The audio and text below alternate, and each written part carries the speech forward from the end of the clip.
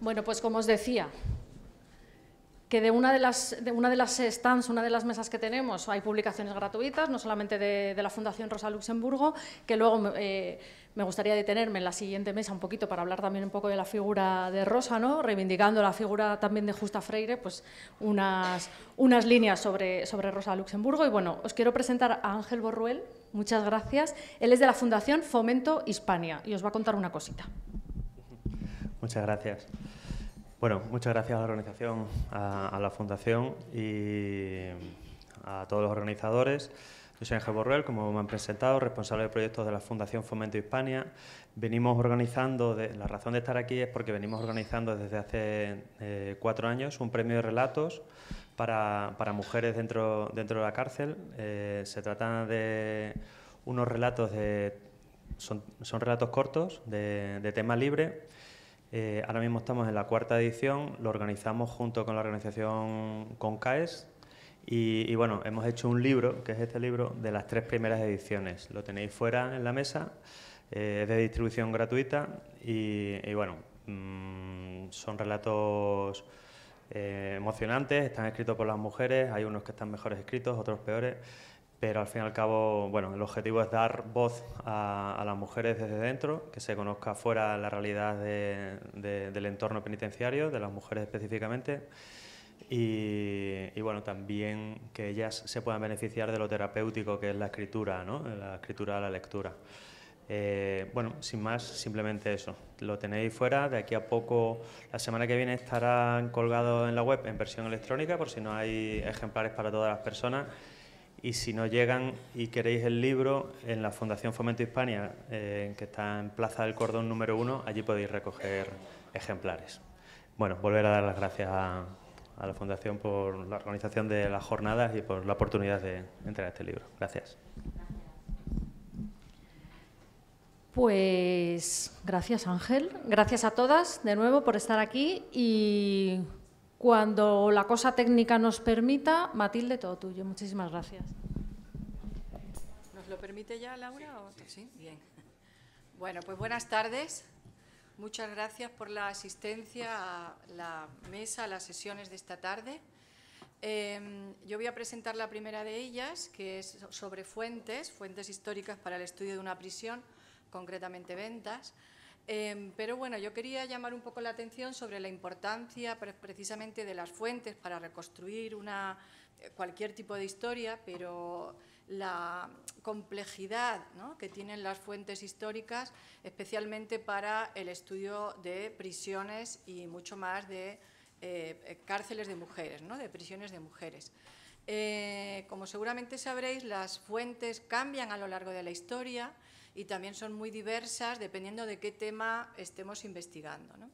En concreto con el tema de las cárceles, pues tenemos documentación desde los archivos de la propia cárcel hasta archivos de carácter militar, archivos de, de, gobiernos civiles, de ayuntamientos, de gobiernos militares, en fin, es una pluralidad enorme de documentación que, bueno, que hay que explorar y también hay que ser muy sistemático y muy riguroso, eh, muy sistemático en el sentido de investigar y explorar dónde están, pero muy riguroso en su tratamiento. ¿eh? Estamos hablando de, de datos que tienen que ver con el perfil personal, la identidad de cada una de esas mujeres que estuvieron en las cárceles, entonces hay que ser muy preciso, muy riguroso y, por supuesto, cuanto más exhaustivo, pues mejor para reconstruir una historia lo más completa posible.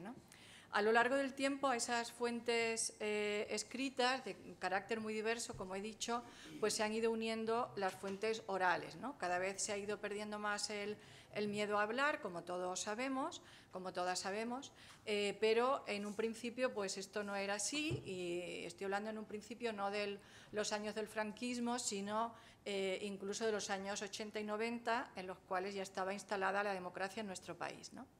Eh, yo soy coautora de un libro pionero sobre cárceles de mujeres que se llama, eh, era un libro sobre la cárcel de mujeres de Málaga. Y, como un breve apunte, os diré que nos dejaron ver, estoy hablando del año 90, 91, nos dejaron ver mm, en la misma cárcel de Málaga, en la cárcel provincial de Málaga, antes de ser trasladada y renovada, etcétera. ¿no? Nos dejaron ver eh, el libro de registros de la cárcel, los expedientes mm, de cada una de ellas y algún que otro fondo más y además nos los dejaron ver sin ningún tipo de cortapisa. ¿eh? Estaban en, una guardilla, eh, nos avisaron además de manera rápida de que esa documentación, de que había habido una inundación arriba en la, guardilla y mm, era un piso alto de la cárcel y mm, de las oficinas de la cárcel y parece ser que los obreros estaban arreglando ese escape de agua y que estaban utilizando los expedientes de, las, de la cárcel de Málaga, tanto de hombres de mujeres, para que absorbiera el agua. ¿eh? Entonces los estaban pisando para chupar ese agua. Entonces, afortunadamente, una persona que estaba en las oficinas de la cárcel, era historiador, eh, nos avisó a un grupo de personas que estábamos haciendo entonces nuestra tesis doctoral y nos dijo, oye, venid rápido, que esto mm, se acaba, vamos, que esto se pierde. Entonces fuimos inmediatamente y estamos ya a punto de cerrar la tesis doctoral, pero eso mm, hizo que se prolongara nuestra investigación, porque claro, de pronto hallamos ahí un tesoro como era el archivo de la cárcel de Málaga, tanto de mujeres como de hombres. Y al mismo tiempo que se produjo ese, nos dijeron, no sabemos lo que hay, pero vosotros lo miráis. Entonces miramos todo, absolutamente todo. Hace unos años, eh, una de las coautoras y yo, Encarnación Barranquero, eh, intentamos revisar esa documentación, actualizar datos, completarla con otros que a lo largo del tiempo pues son archivos que se han ido abriendo y que en el año 90-91 no estaban abiertos para nosotras y resulta que eh, no nos dejaron ver la documentación que habíamos visto en el año 90, o sea, estoy hablando del año 2016-2017, pues en ese año no nos dejaron ver la documentación porque nos dijeron que, no éramos familiares de las presas, que necesitábamos autorización de las familias, etcétera, con lo cual no hemos podido volver a revisar nada y la documentación estará allí y está bastante inaccesible a no ser que uno pueda demostrar que es familiar o que tiene la autorización, etcétera. Con lo cual, como veis, pues eh, hoy en día lo que nos ocurre de manera positiva es que contamos con muchas fuentes, en aquellos momentos encontramos a muy pocas mujeres que quisieron darnos su testimonio, porque aunque, sea, aunque fuera en el año 90, pues había mucha reticencia todavía a hablar.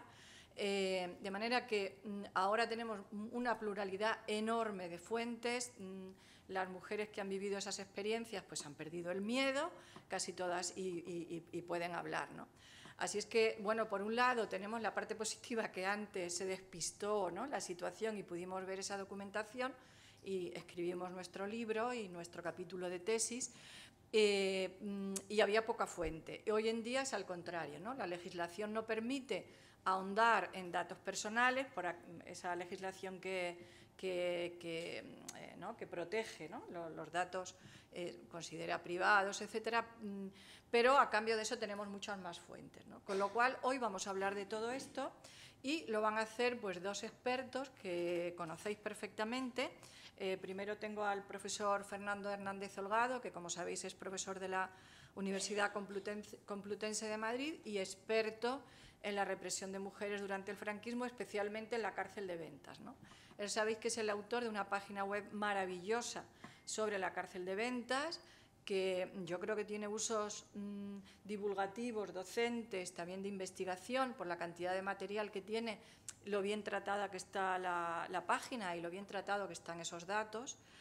Eh, y por otro lado tenemos a Laura Bolaños, que ella se encuentra realizando también su tesis doctoral sobre un tipo de delito común, eh, que es la prostitución, eh, muy discutible esto de delito común, ¿no? Muchas veces Hablábamos antes de si se trata de delito común o delitos de carácter sociopolítico, ¿no?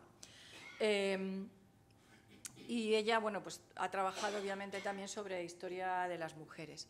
Así es que mm, yo creo que vamos a tener una sesión práctica, yo diría que resolutiva, ¿no? Van a ir interviniendo los dos eh, para ir explicando cosas, ¿no? De cómo se accede. Yo creo que por un lado eh, vamos a hablar en un primer lugar de una cuestión técnica informativa, es decir, qué fuentes hay, cómo acceder a ellas, etcétera. Y yo creo que en segundo lugar ellos nos van a contar cosas de carácter metodológico, ¿no? para que sean prácticas y, bueno, que puedan resolver dudas que nos puedan interesar para aquellas personas que, estén, eh, que tengan interés en indagar sobre esta cuestión o sobre sus familiares o lo que sea. Así es que sin más, para no retrasarlo, pues doy la palabra a Fernando y a Laura. Y al final de la sesión, pues vamos a dejar un espacio para todas las preguntas que surjan. ¿vale? Así es que venga, cuando queráis. Pues muchas gracias. Gracias, Matilde. Es un placer eh, contar como presentadora contigo como en tu papel de pionera. Como bien has recordado, ese, libro sobre la cárcel de mujeres de, Málaga bueno, tuvo un papel pionero en, este, en este tipo de estudios. El taller lo vamos a intentar, eh, lo hemos enfocado de una manera práctica. Es decir, durante todo el proceso de desarrollo de la web y antes eh, se han dirigido a nosotros, a nosotras, eh, personas que querían saber, sabían que sus familiares, sus madres, sus abuelas habían estado en ventas y querían saber cómo acceder a la información. La información ahora mismo, como bien ha dicho Matilde, por un lado, se ha facilitado en cierta manera y a veces es cuestión solamente de citar dos o tres archivos claves y explicar un poco cómo se accede a ellos. Por ejemplo, una cosa, una pregunta también clave que suelen hacer eh, muchas personas es, ¿pero yo puedo ver ese archivo? Pues sí, esos archivos son de uso público, eso es lo primero que habría que decir. Y luego, ¿cuáles son esos archivos y cómo es el mecanismo y el procedimiento de, solicitud de la información? Lo que pasa es que, por otro lado, y eso, digamos, es la otra, la otra, la cruz de, esta moneda, nos encontramos con que determinada documentación muy relevante, como son los expedientes penitenciarios, que antes ha comentado muy bien Matilde, lo que había pasado con los de Málaga, ahora mismo, y también lo ha comentado ella sobre la situación en la actualidad, es muy difícil consultarlos. Y eso es grave, porque yo, por ejemplo, y, la propia Matilde también, hace más de 20 años pudimos acceder a una documentación relevante y ahora no. Entonces tenemos esa cara, cara y cruz de la moneda y, de ello vamos a tratar en este, en, este taller. Vamos a hablar, eh, lo vamos a hacer eh, Laura y yo al, al mismo tiempo y vamos a ir cruzando durante todo el tiempo, nos vamos a referir siempre a fuentes relativas a la cárcel de ventas y tanto la prisión política como la prisión común. O sea que vamos a intentar romper esa, esa frontera que, de la que hablábamos ayer, que viene a ser muchas veces una frontera porosa. Entonces vamos a, vamos a intentar romperla, ¿no? a, ver si, a, ver si, a ver si nos sale. Pues si quieres, Laura, podemos empezar con, con una primera lista de fuentes que, que tenemos ahí. Eh, como veis, tenemos una, una lista y esa es la lista, de alguna manera, que vamos a ir recorriendo durante todo el tiempo. Sumarios judiciales militares, vamos a empezar por ellos, solo sumarísimos de urgencia, es la documentación militar. Expedientes penitenciarios, que es la documentación a la que nos hemos referido antes, con esta queja constante que tenemos eh, ahora mismo, que son los expedientes penitenciarios del Ministerio del, Interior. ¿De acuerdo? Libros, registro de reclusas de ventas, ya veremos dónde están esos libros de registro, padrones municipales, como bien ha dicho antes Matilde, documentación municipal, expedientes gubernativos, fichas de ingresos, sumarios. Parece, digamos, una lista un poco cansina, pero yo creo que vamos a intentar eh, aclararlo un poco. Vamos a referirnos también, como bien ha dicho Matilde, a los testimonios orales. Son importantísimos, porque es la manera de cruzar testimonios orales con pistas documentales o fuentes documentales y podemos enriquecer todo ese, todo ese relato. Y ahí tenéis, eh, ya sabéis, en el hall tenéis una exposición, una mini exposición de, libros señeros, digamos, en, esta, en estas memorias carcelarias femeninas. Vamos a hablar de las fuentes visuales. Las fuentes visuales también son muy importantes para intentar visualizar lo que, lo que fue aquello. Y otras fuentes de, de memorias que ahora mismo, por ejemplo, las memorias del Patronato de Redención de Penas y Redención, que ahora mismo están consultables. Eran unas unos documentos que estaban en, había que ir o a la Biblioteca Nacional o a la, Biblioteca de la Dirección General de Instituciones Penitenciarias y ahora os la podéis descargar de Internet. Y esto es lo importante, yo creo, de este taller, ¿no? que se, es, digamos, esa vertiente práctica. Pues pasamos a la siguiente, a ver. Y vamos a empezar por el sumario judicial militar. Sí, sí, sí. Y vamos a empezar quizá por el sumario judicial militar, uno de los más conocidos, que es el, que contenía las trece rosas.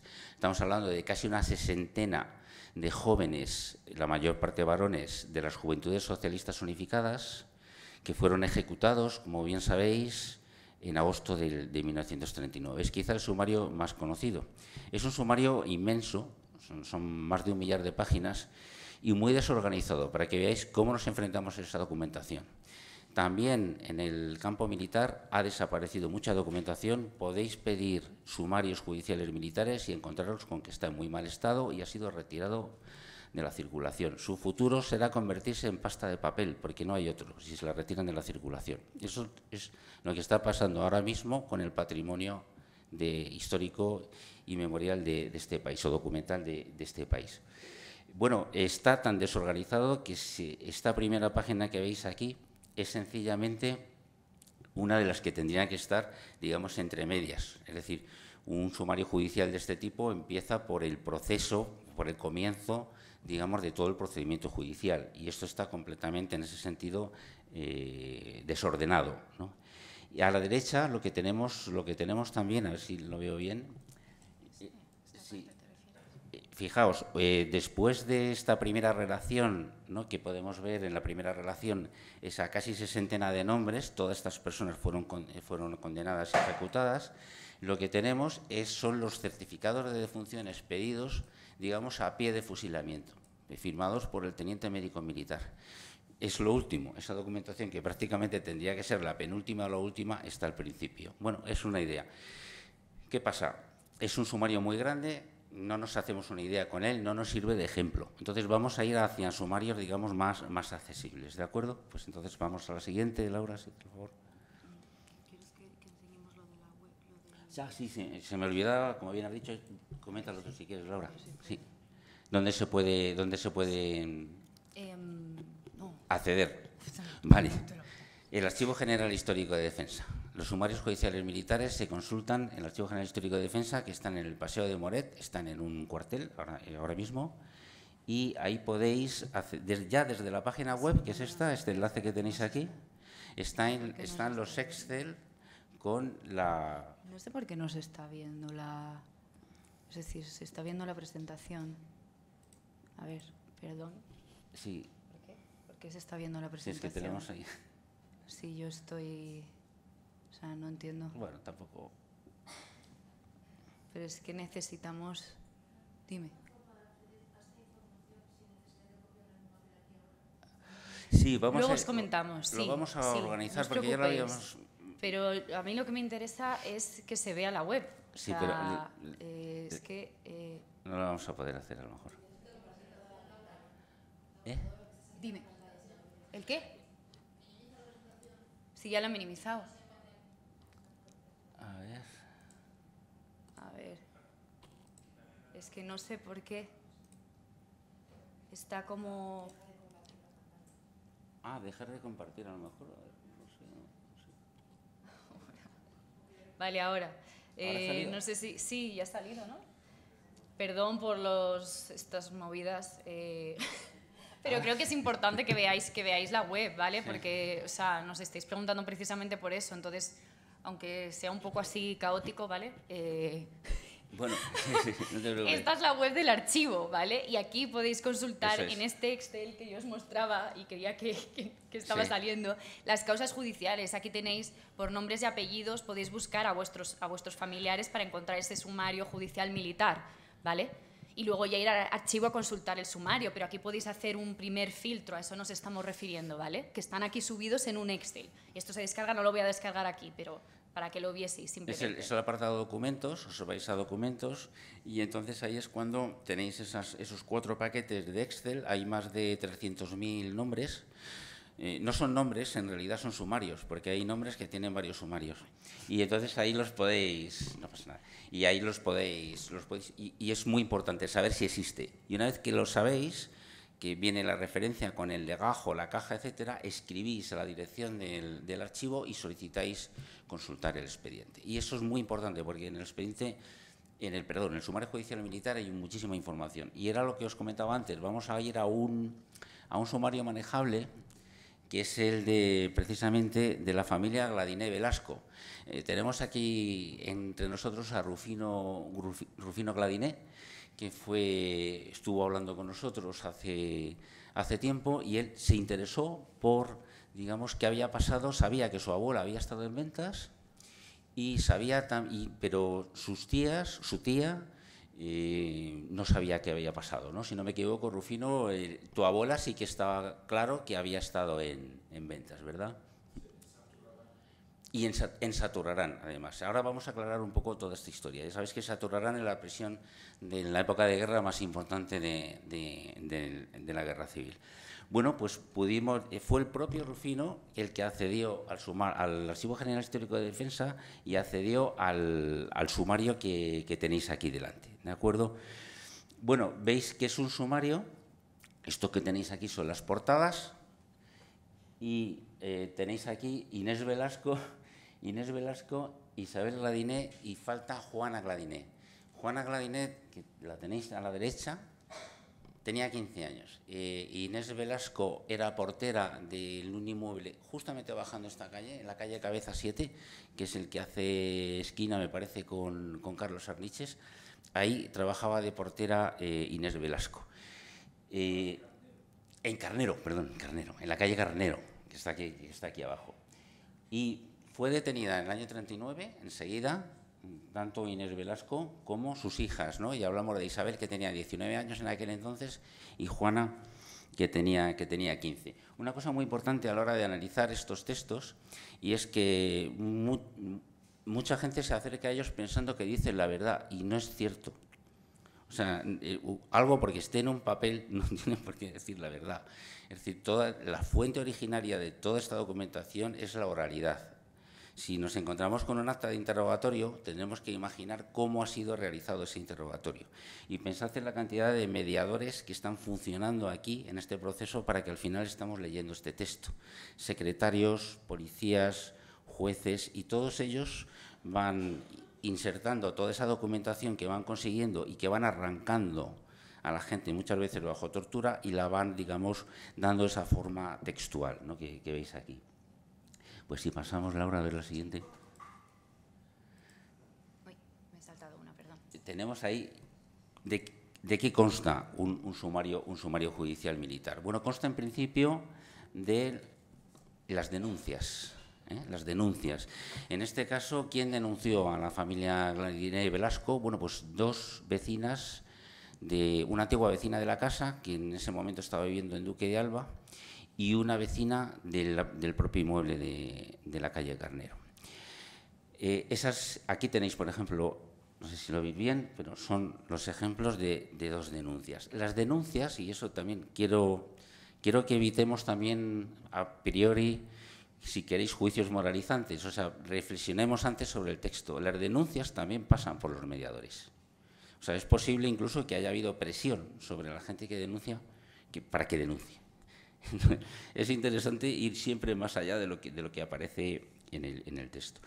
Uno de los objetos de denuncia era la presunta desaparición de un vecino del, del inmueble de la, de la, calle Carnero y un suceso que ocurrió a, raíz de una bomba que cayó justamente en diciembre del 36 en ese sitio, en la esquina de Arniches con Carnero. Ahí una mujer tuvo una serie de problemas, eh, Inés Velasco, que era la portera del inmueble, se la acusó posteriormente de haber eh, empujado a esta mujer, se provocó un tumulto y esta mujer fue a parar a una comisaría, digamos que fue detenida por las autoridades republicanas, pero enseguida fue liberada. Pero ese suceso se magnificó muchísimo y pensad que estamos hablando de un suceso, de una bomba que había caído con el, digamos, el, fenómeno, el pánico que se produjo en, ese momento. Este es un típico sumario familiar, porque fijaos, está toda la familia aquí. Estamos hablando de la madre y estamos hablando de las dos hijas, incluida la, chica de, 15 años. Eh, en realidad todo nace de, una documentación, en la que hablaremos después, que es el expediente de porteros, pero eso me interesa porque para que veamos que todo se está desarrollando en esta geografía. O sea, cuando estaba hablando de, por eso hemos sacado a colación también el caso de, Rufino, de la familia Gladiné, Velasco Gladiné, porque todo se desarrolla en una geografía muy cercana, ¿no? Y entonces eh, Inés Velasco era portera del inmueble. Lo que hicieron las autoridades ocupantes en un primer momento, ordenaron enseguida que se presentasen de cada casa el portero y el vecino de mayor edad a dar cuenta de lo que había pasado durante la guerra, de cada inmueble.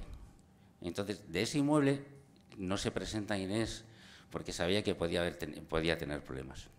Y se presenta su, su marido, que era cerrajero, pero firma como portero. Eso también es interesante, porque puede haber estudios sobre porteros donde Pedro Gladiné aparezca como, como portero y era cerrajero. La portera era realmente, estaba intentando esconderse en ese momento. Eh, bueno, eh, al final mm, no se presenta, pero muy poquito después, una semana y algo más de una semana después, ya sí que es denunciada. Y entonces ya funciona ya toda la, toda la maquinaria represiva. ¿No? El 13 de mayo es la denuncia. Dos días después, bueno, el 16 de mayo, tenemos los atestados policiales, si los pasas, Laura. Sí.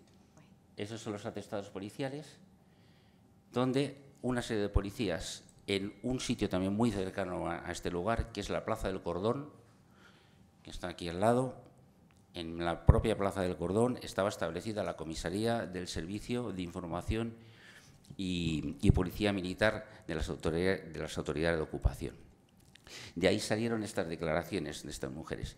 Por eso digo, también hay que intentar imaginar, tenemos testimonios también de otros, de otros luego fueron encarcelados, otros sujetos, otros individuos que pasaron por, por esta comisaría y sabemos de la tortura sistemática, de las condiciones en las que estaban de reclusión, etcétera.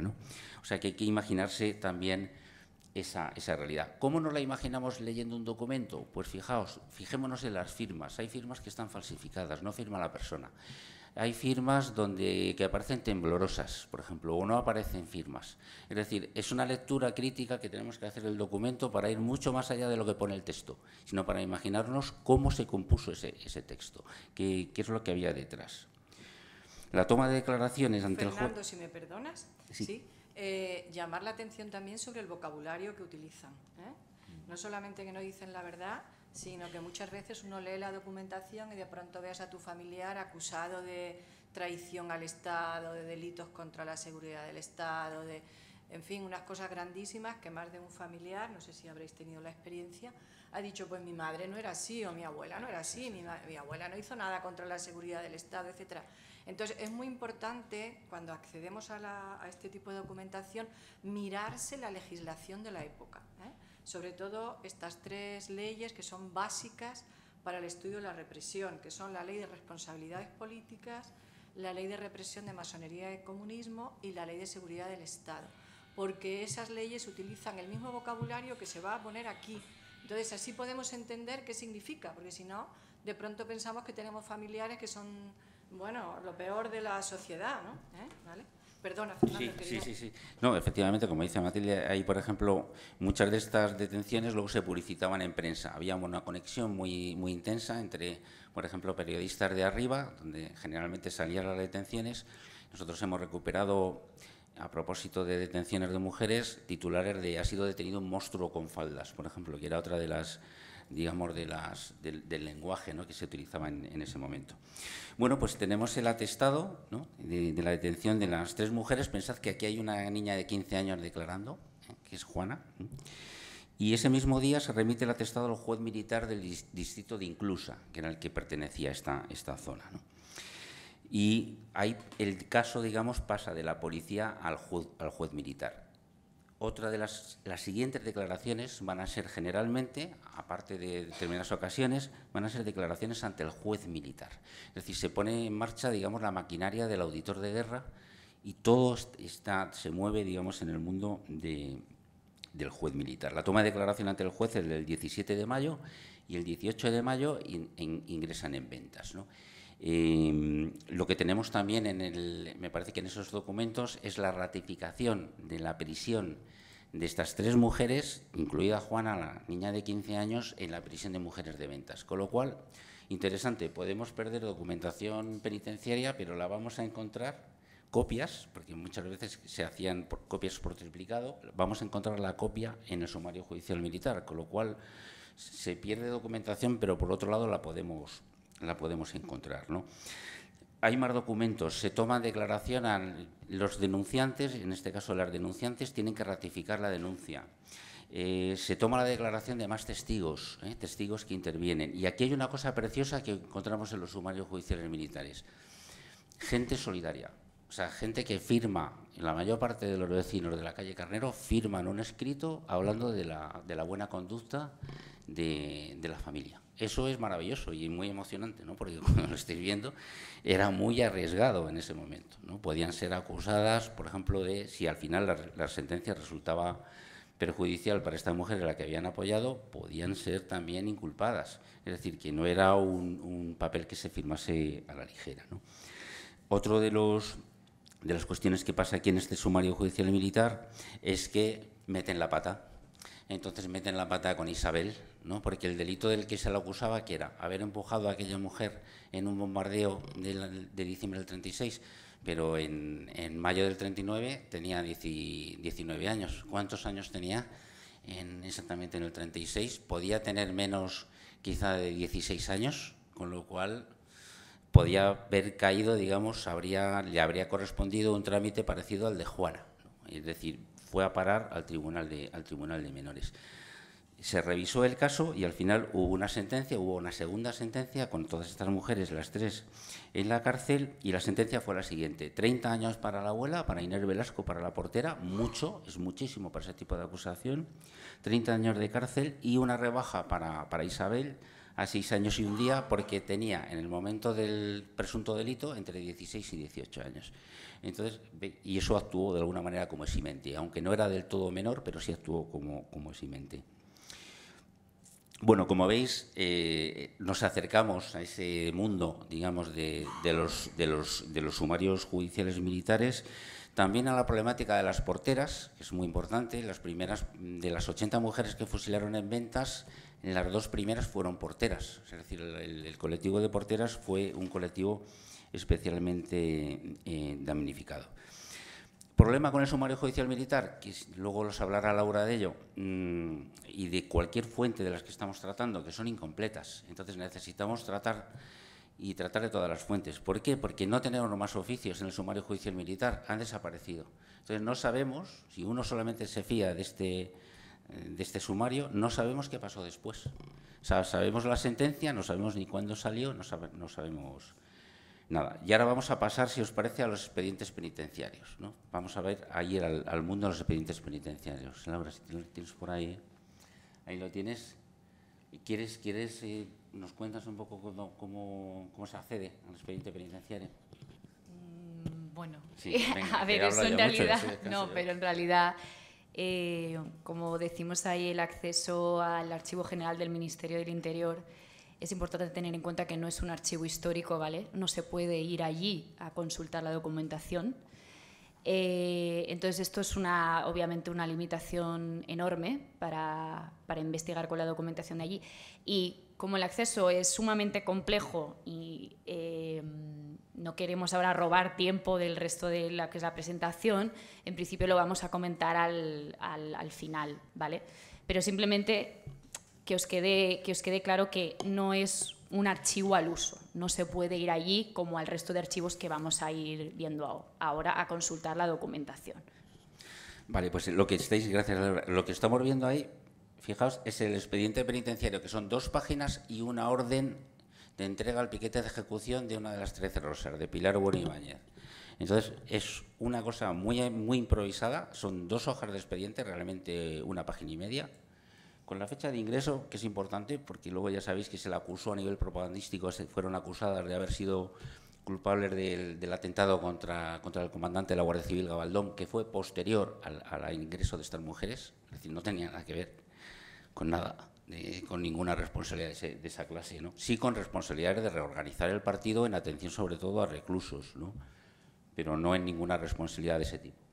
Y como veis, tenemos, podemos ver el, el ingreso y si tiras ahí, si ves la orden esta adjunta, veis un poco, hemos puesto el anverso y el reverso. El anverso es la orden de entrega al piquete, es decir, está firmado al reverso por el jefe de la fuerza, es decir, que podían ser guardias civiles, soldados o policías.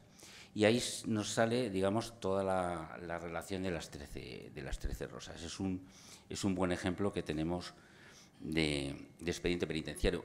Y os comenté al principio que vamos a intentar cruzar toda esta información con la problemática de las presas comunes. Así que Laura nos va a comentar cómo son los expedientes, los expedientes penitenciarios de las presas comunes. ¿No quieres comentar este, este expediente? ¿Cuál es? Ah, el siguiente. Sí, que es lo de... A ver. Es el caso de Isabel, pero bueno. Sí, bueno, si queréis, antes de, que, efectivamente, de que Laura pase a comentarnos un expediente, tenemos el expediente de Inés Velasco.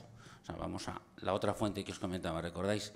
Habíamos visto el sumario judicial de la familia Gladine Velasco y el propio Rufino accedió, digamos, al expediente penitenciario de, Inés.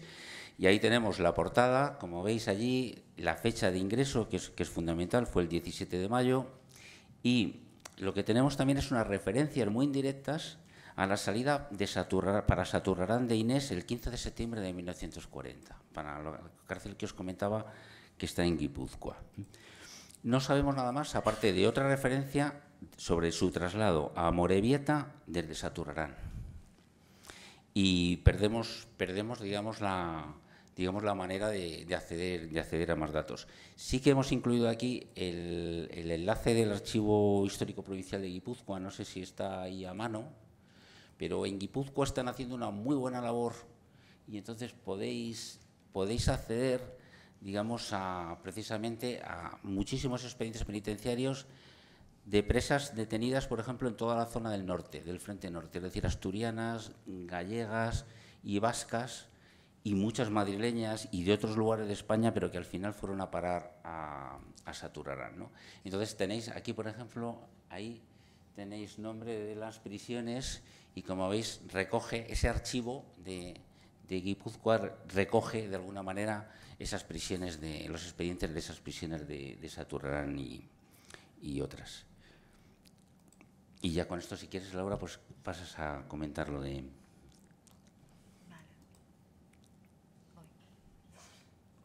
Sí, yo también me he volvido con este sistema. A ver, que se me ha ido todo. Eh, vale, estoy así. Se ve muy blanco eh, aquí en la... Vale. Em, este es el... Fernando se ha mostrado expedientes de, presas, de presas políticas. Eh, ayer yo comenté eh, la diferencia entre presas comunes y detenidas gubernativas, pero bueno, lo vuelvo a, repetir hoy brevemente por si hay alguien que no está. Detenidas gubernativas hablamos de principalmente prostitutas y extraperlistas, ¿no? Que ingresan en prisión no por haber cometido un delito, sino una falta. ¿vale? Em, y ingresan para cumplir un arresto breve, no una pena. No están ni procesadas ni condenadas. Em, entonces os he traído aquí como ejemplo el expediente de una mujer que fue detenida por ejercer eh, la prostitución en la vía pública en, julio del 40, ahí lo veis. Y yo lo que quería eh, remarcar en comparación con los expedientes de una presa política o una presa común, es que, por ejemplo, en el apartado que veis de causa, como veis, está vacío, solo hay una, solo hay una fecha. Sin embargo, no sé si os ha dado tiempo a verlo en los expedientes anteriores que, que ha comentado Fernando, los de una presa política, aquí siempre nos va a poner juzgado militar. Juzgado militar, número tal en el de una detenida gubernativa no va a venir nada, no va a venir un delito porque no ha cometido delito, no va a venir un juzgado porque no la juzga un juez, sino que em, la ha sancionado una autoridad policial. ¿Qué autoridad policial? Ahí lo vemos. Dice, ingresa en esta prisión procedente de la Dirección General de Seguridad. El director general de Seguridad es la máxima autoridad policial que había en España entonces. Y dice, entregado por agente, un agente de policía, en concepto de arrestada, es decir, va a cumplir solo un arresto, no una pena judicial. ¿De qué, de qué tiempo? 15 días. Ayer comenté todo el tema de las, de las quincenarias. El arresto típico, 15 días. Y dice a disposición de la misma, refiriéndose a la Dirección General de Seguridad. ¿no? Y un elemento que, quiero eh, destacaros ¿no? para que bueno, eh, si, investigamos sobre, sobre, esto, una particularidad de los, de los expedientes penitenciarios de las detenidas gubernativas, es decir, una prostituta o una extraperlista, va a ser precisamente esa ausencia de, ausencia de información. Aquí, como veis, no hay ninguna referencia a la prostitución ni a las faltas a la moral. Una persona que, como yo, no sabe que esta mujer la detuvieron por prostitución y que solo eh, lee este expediente penitenciario, no sabe por qué ha ingresado esta mujer en, prisión. Esto va a caracterizar los expedientes penitenciarios de las detenidas gubernativas, que nunca, nunca se indica el motivo, tampoco se va a indicar por extraperlo, por vender pan en, en la calle o tabaco. Sin embargo, en el caso de una, presa, de una presa común y de una presa política, lo normal, lo habitual, es que se indique el delito y se indique el juzgado, ya sea civil o, militar. ¿no? Entonces, claro, eh, este va a ser un, elemento identificativo de que se trata, mm, nos da, pistas de que probablemente este expediente sea de una mujer que ejerció la prostitución o el, em, el extraperlo. ¿no? Entonces, ¿cómo podemos entonces eh, saber ¿no? el motivo por el que estas mujeres ingresaron? Bueno, pues por lo que acaba de comentar Fernando, porque no podemos basarnos solo en una fuente para investigar a una persona o investigar un tema. Y luego lo vamos a ver cómo, con, en este caso, con el expediente policial de esta mujer, donde consta dónde la detuvieron, podemos saber el motivo y de alguna manera hacer esa reconstrucción de la línea temporal y vital de esta, eh, de esta mujer y saber el, motivo. ¿no? Y esto es algo en lo que queremos incidir muchísimo Fernando y yo, que a la hora de investigar eh, es fundamental trabajar con fuentes diversas, no podemos basarlo solo en una, porque esta, por ejemplo, no nos da la información que, vamos buscando. ¿no? Entonces, bueno, era simplemente eh, poneros este, este ejemplo.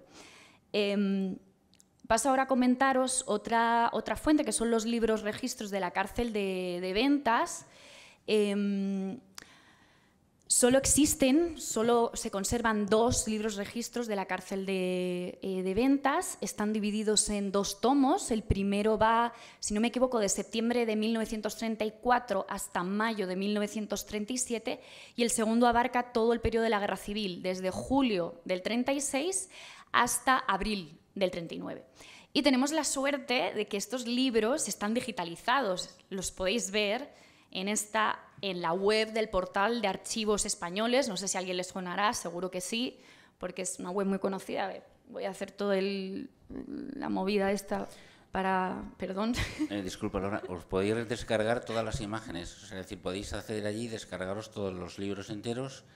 Y, otra pregunta que también interesante para hacernos una pregunta sobre el documento es, bueno, esto está dentro de la documentación de la causa general del Archivo Histórico Nacional y luego trasladado al Centro de Documentación de Memoria Histórica de Salamanca. Eh, os imagináis perfectamente por qué está allí, ¿no? No sé por qué se habrá, habrá sido digitalizado, pero está allí porque esos libros fueron tomados en el año 39 de la cárcel de ventas para, para, la causa general, para ir buscando los antecedentes de la gente que estaban deteniendo, desde el año precisamente, y no es casualidad, el año digamos en el que empezaron las, digamos las indagaciones. ¿no? Esos libros fueron utilizados con fines completamente incriminatorios. Hmm.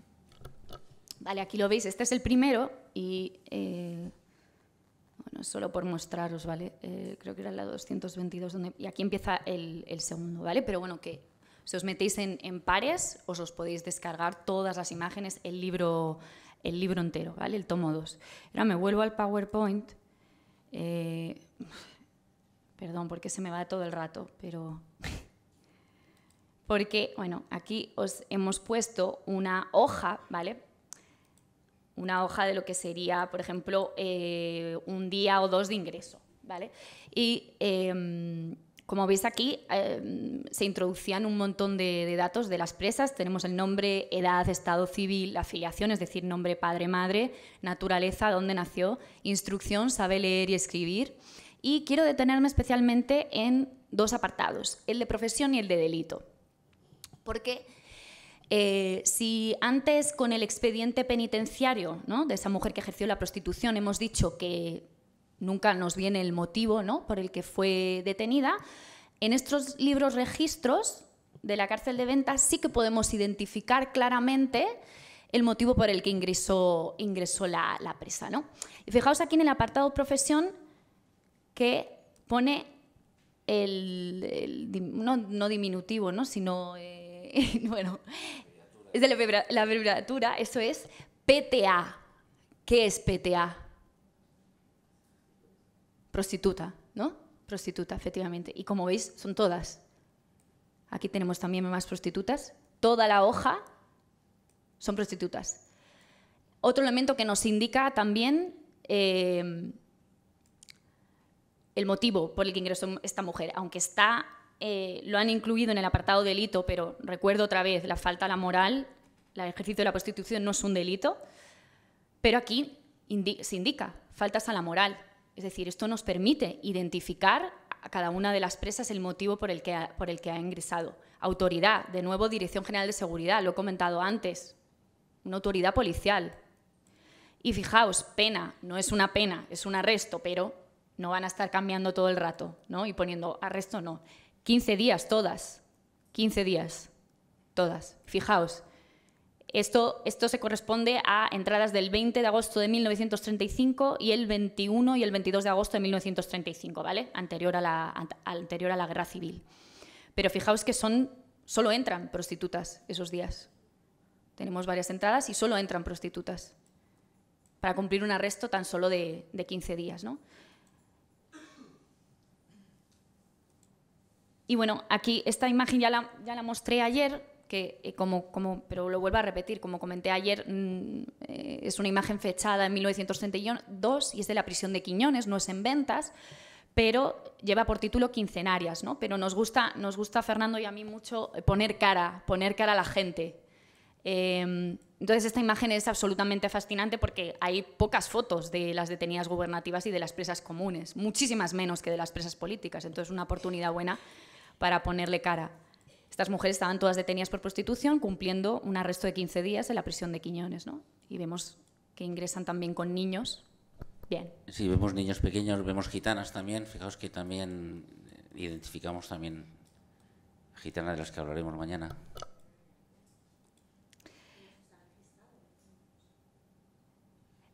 Mm, no, depende. Eh, los expedientes penitenciarios, si se han conservado, generalmente sí, sobre todo los de esa época, porque eran muy, muy cuidadosos todavía con ese tipo de documentación, pero en el libro de registro no, no aparecen que yo sepa. Vale, y quería, quería mostraros como comparativa, habéis visto ¿no? Eh, la cantidad de información que viene en esta hoja, ¿no? un montón de datos personales de estas, eh, de estas mujeres, y fijaos el contraste con esta otra, que también pertenece al segundo tomo, pero es de un libro registro de ventas. Fijaos el contraste de información. Eh, en esta hoja las entradas son todas ya del 39, estamos hablando de abril 27, eh, la guerra ya ha terminado, hace nada, bueno, está la cosa ahí, ahí, y de mayo, o sea, es una cosa muy reciente. Y, como veis... Hay dos nombres, disculpa Laura, pero que conoceréis aquí, le reconoceréis, que son Martina Barroso y Pilar Buena, o sea, dos de las trece rosas también las podemos encontrar a través de ese libro registro de reclusas. Sí, era un poco porque vieres el contraste, ¿no? Que aquí solo están apuntando literalmente el nombre de la presa y la fecha de, entrada, ¿no? Y esto nos habla del caos administrativo eh, que hay en ventas y en, todo el país en este, en este momento, ¿no? De, la guerra eh, o de la finalización de la, de la guerra civil. Eh, que se refleja también en la, en la, documentación, ¿no? en comparativa con esos libros de anteriores a la guerra en las que ah, viene todo muy detallado de, de, cada presa. Era simplemente para que vieseis el, el, contraste. Y ahora nos vamos a otra fuente que mencionó ayer Fernando, eh, que son los padrones municipales de, eh, de habitantes, ¿vale? Eh, la mencionó ayer Fernando cuando le hicieron una pregunta acerca del número de las, número de las presas de, ventas. Y comentar, que ya lo dijo también ayer Fernando, eh, los padrones municipales de habitantes eh, se hacían cada cinco años, ¿vale? Por tanto, en el caso de la prisión de ventas, podríamos consultar el de 1935, 1940, 1945, 1950, 1955, 60 y 65, porque la prisión de ventas tiene una vida eh, larguísima. ¿no? Em, está en el archivo de Villa, ahí lo, he puesto, y simplemente por comentaros, em, más de cuestiones técnicas. eh, los padrones están microfilmados en unas cintas que se reproducen en unas máquinas un poquito farragosas, ¿vale? Solo porque lo tengáis en cuenta. Se puede ver el padrón, pero bueno, tiene ciertas, ciertas complejidades, simplemente para que lo tengáis, eh, lo tengáis en cuenta, ¿no? Entonces, eh, cada cinco años todos los habitantes de Madrid tenían que, empadronarse, todas las viviendas tenían que decir aquí vive eh, Pepito, Juanito y demás.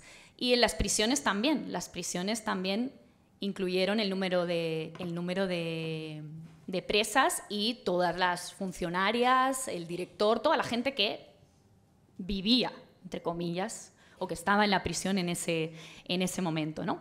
Y, por ejemplo, aquí os mostramos eh, este es, el, este es el, eh, padrón municipal de, la prisión de ventas de diciembre de 1940, ¿vale?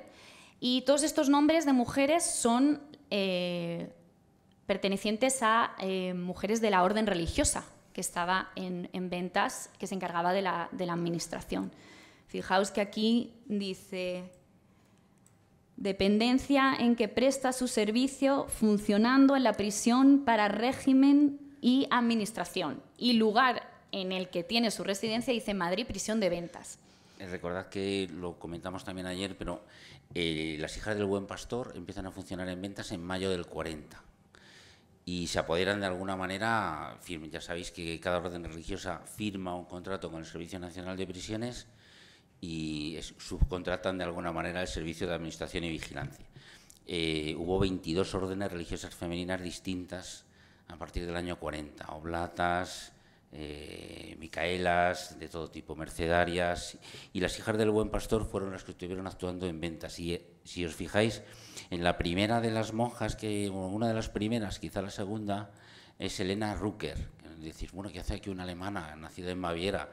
Es la famosa Serafines, muchísimas memorias carcelarias de, Juana Doña, de Soledad Real, etcétera, hablan de la alemana, ¿no? que la asimilaban a una especie de nazi. Se confundía un poco esa, esa imagen satanizada de la nazi con que tenías aquí una monja alemana, ¿no?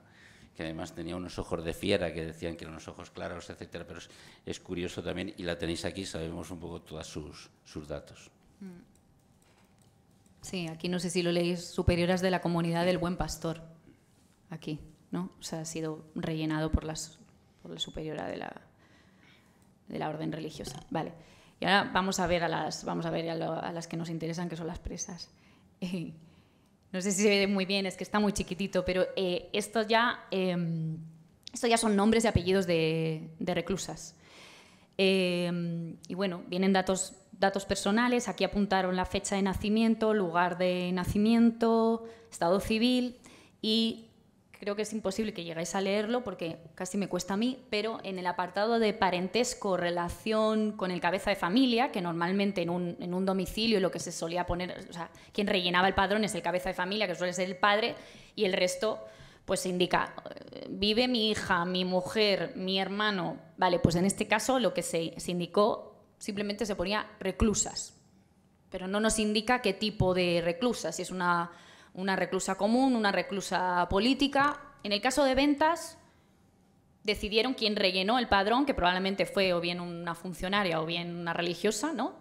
Decidió dejarlo en reclusas, una tras otra, pum, pum, pum. ¿Vale? Y bueno, veis aquí, por ejemplo, el apartado ocupación, la mayoría SL, que SL es una abreviatura de sus labores. Eh, aparece constantemente la documentación del franquismo, constantemente, pero tenemos también una modista por aquí, y, vale, este que os muestro es el padrón de ventas de diciembre de 1940. Un total de 1.734 presas, lo comentó ayer Fernando. Pero nos vamos ahora, quiero enseñaros el padrón de otra prisión de la que hablamos ayer, otra prisión de mujeres que se habilita precisamente por el hacinamiento al que se llega en ventas, que es la prisión de Claudio Coello, situada en Claudio Coello número 100. Se habilita de manera, de manera provisional y es igual, el padrón es el mismo. Como veis, los nombres, eh, el año de nacimiento, pero en el apartado de parentesco, en esta prisión, en vez de poner reclusas, aquí vemos la palabra penada. Es decir, quien rellenó el padrón de Claudio Coello, pues bueno, fue un poquito más quiso ser un poquito más exhaustivo, sí, y eh, sí que eh, indicó el tipo, de, el tipo de presa. ¿no? Tenemos a, aquí solo os muestro esta hoja, ¿no? pero tenemos penadas, hay detenidas gubernativas, tenemos también mujeres en tránsito. Entonces, bueno, era para que vierais un poco la, la diferencia entre estos dos padrones. Pero deciros, el padrón desde el punto de vista de un familiar pues tampoco aporta mucha información. Es decir, podéis buscar a vuestros, a, vuestros familiares, eh, pero como veis son datos, son datos personales. Es una fuente que sirve más a las investigadoras e investigadores y sobre todo desde un punto de vista cuantitativo. Cuantitativo, como comentó, es una de las pocas fuentes que tenemos para saber el número de presas que había que había en, ventas, porque los libros registros, como os he comentado antes, finalizan en abril del 39. No hay más registros de presas, solo nos quedan los expedientes. Entonces es una, buena fuente para, bueno, tomarla con cautela, como no sé si lo comentaste ayer, lógicamente con cautela, pero em, es una fuente eh, interesante para conocer el número de presas en ese, en ese momento. Y vale, ya pasamos a, otra cosa. Em, en el Archivo General de la Administración hay, muchísima documentación, entonces vamos a hablar de cinco, las cinco últimas fuentes que quedan y quería un poco mostraros aquí un esquema ¿no? de cuáles están en el Fondo Justicia, cuáles en el Fondo Interior para, ubicarnos. ¿vale? Vamos a ir viéndolas una a una, em, pero, pero bueno, que sepáis que en el Archivo General de la Administración hay muchísima, eh, muchísima documentación valiosa. ¿vale? Em, entonces, eh, la paso, pero mm, el PowerPoint probablemente lo compartamos, ¿vale? O sea, no os preocupéis en, si, no, si no os ha dado tiempo a copiar todo. Vale, y empiezo con la primera, que son los expedientes, expedientes gubernativos de la Dirección General de, de Prisiones. Este tipo de expedientes se mm, instruían cuando tenían lugar acontecimientos en las prisiones tales como fugas, normalmente, eh, casos, de, casos de suicidios, motines, huelgas, abusos por parte de los funcionarios, eh, se abría una instrucción, un, expediente, un instructor iba a la prisión eh, para, ver qué había, qué había ocurrido, toma declaración. Es muy interesante esta fuente desde el punto de vista cualitativo en comparación con los padrones porque se toma declaración de funcionarias, muchas veces de, presas, entonces, bueno, es muy, es muy valioso. Y también para conocer un poco el funcionamiento interno de la, eh, interno de la, de la prisión. Y esto es, además es fácil acceder a esta documentación en el Archivo General de la Administración porque mm, en los inventarios, los inventarios que se consulta antes de pedir la caja, ¿no? una caja donde viene la documentación, eh, viene detallada la prisión y tú puedes hacer búsqueda por palabra clave, es decir, en el documento como si fuese un PDF, entonces si tú quieres saber en qué cajas están, hay expedientes de ventas, simplemente tienes que poner ventas y te lo dicen, con lo cual es, eh, la documentación es fácilmente, es fácilmente accesible. Eh, hemos contabilizado un total de 25 expedientes gubernativos para el caso de, ventas, pero tenéis prisiones de toda, de toda España allí, o sea, de Saturrarán y de hombres, y de hombres también, por si os interesa. Y, bueno, los que hemos querido destacar son expedientes de, fuga, de fuga, tres fugas ¿no? Eh, bastante significativas, que ayer yo comenté un par, en diciembre del 43 se fugan un par de detenidas gubernativas por prostitución, eh, luego en el 44 esta fuga es, tremenda de dos presas políticas. Eh, las dos estaban condenadas a muerte, Fernando. Eh, sí, estaban condenadas a muerte. Lo que pasa es que una estaba en, en el sótano de Penadas, que recordáis que ayer hablamos del sótano de Penadas del año 43, donde estuvo Manolita del Arco. Y, y, otra estaba en otra galería. Ese es el croquis que os he puesto, que es el croquis que utilizó Amaya para hacer su reconstrucción de 3D. Es decir, que no era una planimetría, pero un croquis que pudo ayudar, digamos, para hacer la reconstrucción. Entonces veis ahí, veis las plantas de las, de las plantas, perdón la redundancia, de, o sea, planta sótano, primera y segunda. Y si, no sé si lo llegáis a ver, si lo puedes ampliar, Laura, pero en rojo está en rojo está marcada los recorridos que hacían cada una de ellas. La particularidad de esta fuga es que es legendaria, digamos, en la memoria de las presas de la comunidad de presas políticas es que fue una burla, digamos, a las autoridades, porque hubo muchísimas eh, presas implicadas y la presa que la sacó fue la llavera, eh, Paz Lobo. Entonces tenían las llaves de todo, era la presa de confianza y tenían las llaves de todas las salas. Entonces no, tuvieron que saltar más que la garita, ni forzaron ninguna puerta. Salieron abriendo todas las puertas y luego las cerraron. Con lo cual, cuando surgió en el recuento, la alarma era, total, ¿no? Decíamos, si no hay ninguna puerta reventada, ¿cómo han podido salir? Y, aquí podéis seguir, si alguien quiere investigar concretamente este episodio, pues es un expediente bastante grueso para seguir sus vicisitudes. Fue épica esa, la verdad, esta fuga. y este plano lo enseñé yo ayer, sí, el, sí, que esta es de la última fuga, que la comenté yo también ayer, del 52. Esta es la otra. Eh, sí, eh, antes se habían fugado por la parte, por la parte trasera, Sí. las políticas, por esta garita, la 3. Y en este caso, eh, esta fuga que comenté yo ayer de una, una presa común condenada por delito de hurto, pero que a la que le permitían dormir en el dormitorio de las detenidas gubernativas en los sótanos por una- un tema de mm, médico.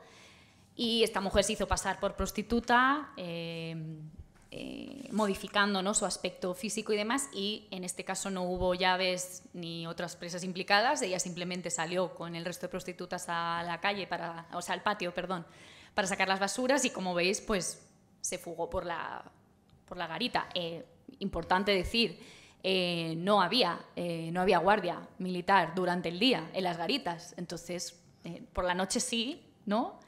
Pero por la mañana no, entonces pues le resultó relativamente, relativamente fácil. Ayer recordábamos, disculpa Laura, pero Sí. que ese oficio tan ingrato, digamos, ese cargo, el trabajo tan ingrato de, que tenían en ese momento las presas, que era recoger toda la basura de todas las galerías en un serón grande, eso lo hacían prostitutas. Eso no lo hacían, eran, eran las presas las que, las que hacían. Y algún comentario también del director, ¿no? cuando le preguntaron, ¿usted por qué? No, si es que es- estas mujeres no están vigiladas. Es decir, estas mujeres estaban, digamos, fuera de, fuera, fuera de foco. Claro. Vale. Y pasamos a otra fuente, que son también en el Archivo General de la Administración, ¿vale? Siempre, las fichas de ingresos penitenciarios de la Dirección General de, de- de Prisiones. Em, estas, estas fichas, importante decirlo, están eh, digitalizadas eh, allí, en los ordenadores del Archivo General de la Administración, ¿vale? Eh,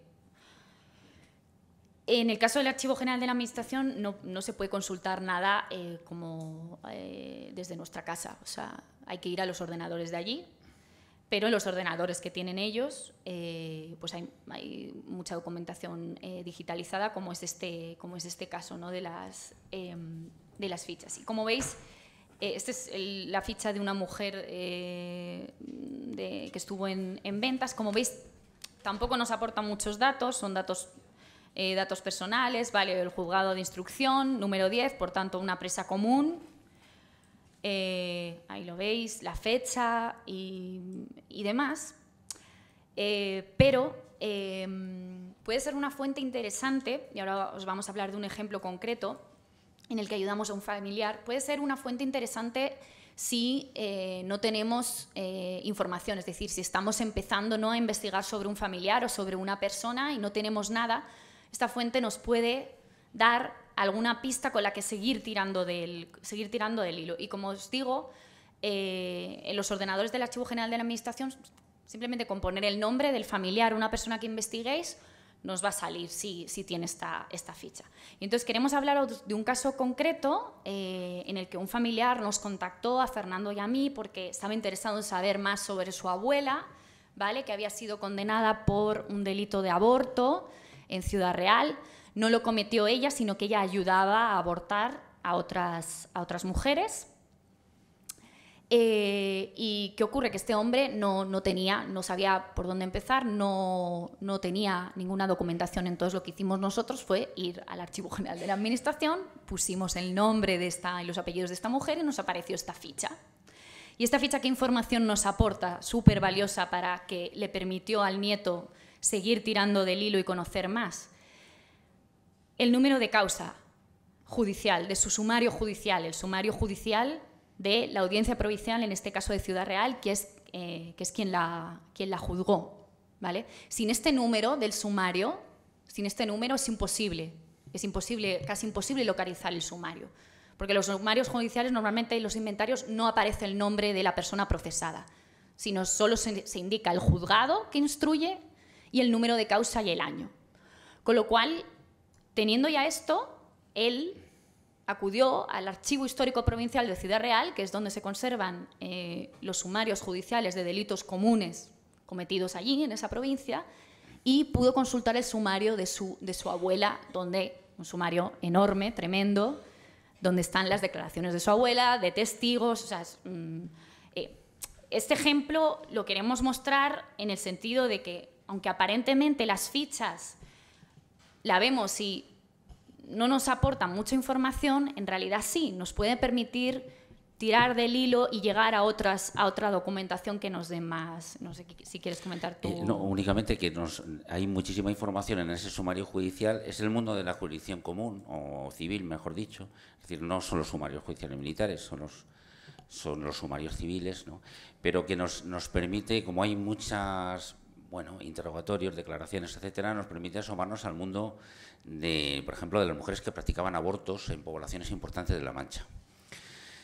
Eh, además, muchas veces en colaboración, no en colaboración, pero abortos de prostitutas, de casas de prostitución enclavadas en esos pueblos, como por ejemplo Almodóvar del Campo. Es decir, que nos, nos permite, digamos, eh, ahondar un poco en, ese, en, esa, en esa problemática, incluso las técnicas que utilizaba. ¿no? En este caso, la acusación, vamos, en, en, en el, en la sentencia hablaba de, hiedra, utilizaban hiedra, tallos de hiedra para, para como técnica abortiva. Vale, precisamente la siguiente fuente de la que os quería hablar son estos, estos sumarios judiciales de la Audiencia Provincial de, de Madrid. Los de la Audiencia Provincial de Madrid, lógicamente, están en el Archivo General de la Administración, los de Ciudad Real en el Archivo Histórico Provincial de, de Ciudad Real. Eh, y os he puesto, bueno, como ejemplo, pues, eh, un sumario Hablamos de, en este caso, delitos, delitos comunes, código penal. Y la autoridad que sanciona, lógicamente, es un juez. El delito de corrupción de menores, el delito de aborto, aquí, un ejemplo, y otro de, otro de, hurto. ¿no? Y em, aquí lo, importante es que ya lo he comentado, eh, acceder a esta, es decir, si nosotros estamos buscando el sumario judicial de un familiar o de una, o de una persona, y solo tenemos el nombre, eh, es complicado encontrar el, sumario, porque los inventarios en el Archivo General de la Administración em, solo nos indican el juzgado, el número de sumario, que siempre tiene un número, siempre están numerados, y el año en el que, en el que se, eh, se instruye ¿no? el, el, caso. Eh, es raro que aparezca en esos inventarios el nombre de la persona, de la persona procesada. ¿no? Eh, con lo cual, eh, para este, el, acceso a esta documentación o la localización de un sumario concreto, eh, por ejemplo, el de, esta mujer ¿no? por aborto, es, es, es complejo. O sea, si, si no tenemos el, el, número de la causa, bueno, una opción que podríamos hacer es mirarnos todos, todos los inventarios y recoger el número, ¿no? Todos que es lo que tuve que hacer yo con el caso de corrupción de menores. Es decir, mirarme todos los inventarios del 40, del 39 al 47 y contabilizar cuántas causas había por, corrupción de, menores. Es una opción, pero claro, es una opción que lleva muchísimo, muchísimo tiempo. Por eso la importancia de em, trabajar con otras fuentes que nos puedan dar esa información, como la ficha anterior, ¿no? que nos indica el sumario. Entonces ya, vale, simplemente en el, es buscar el juzgado, buscar el sumario, y pedir la, caja en la, que, en la que esté, porque los inventarios sirven para eso, nos indican la caja que tenemos que pedir donde está la, documentación. ¿no? Pero bueno, comentaros que eh, para este caso eh, estamos viendo fuentes de todo tipo, fuentes que tenemos accesibles en Internet, son las que menos, eh, fuentes que podemos ver en los ordenadores de los, de los archivos digitalizadas y luego otras pues, que son, son más complejas. Y ahora paso a los... Querían comentar también los expedientes de los juzgados de vagos y maleantes. Eh, en, este, en este caso eh, sí que es más fácil eh, buscar a una persona concreta, porque el, inventario es un, en el Archivo General de la Administración es un Excel, básicamente, con los nombres y apellidos de la, de las personas, entonces es muy fácil si vais buscando a alguien concreto. Eh, es, muy sencillo, ¿no? en este caso el acceso es bastante, bastante sencillo. Y bueno, os quería traer este, este ejemplo eh, de un expediente de peligrosidad que pertenece a una mujer, ¿vale? Una mujer que eh, ejercía, la, ejercía la prostitución, pero sí que quiero dejar claro que el ejercicio de la prostitución por sí solo eh, no es suficiente para considerar, en este caso a las mujeres, en estado peligroso, ¿no? Eh, como para expedientarlas por el juzgado de, vagos y maleantes, ¿no? ¿no? con la categoría de peligrosidad, solo por la prostitución no. Eh, por tanto, los casos de, prostitutas a los que se les abrió un expediente por vagos y maleantes eh, siempre son casos de mujeres que normalmente cometieron también delitos, ya hablamos de autoridad judicial, normalmente hurtos, muy típico el robar al cliente eh, era bastante, bastante frecuente y es el caso de esta, de esta mujer. Em, y luego, por ejemplo, no sé si lo veis aquí, ¿no? todo esto que, pues, que he tachado yo en blanco, todos, que son casi dos líneas, son los nombres falsos que utilizó esta mujer. Utilizó hasta seis nombres falsos. ¿no? Y esto también es un, esto es un agravante, también, un motivo de eh, considerar a esta persona eh, como peligrosa. ¿no? Em, ¿Por qué? Porque con el empleo de un nombre, de un nombre falso lo que intentas es, eh, lógicamente, pasar desapercibida frente, a las autoridades, ocultar tu verdadera identidad para que no te sancionen, para que no te sancionen más.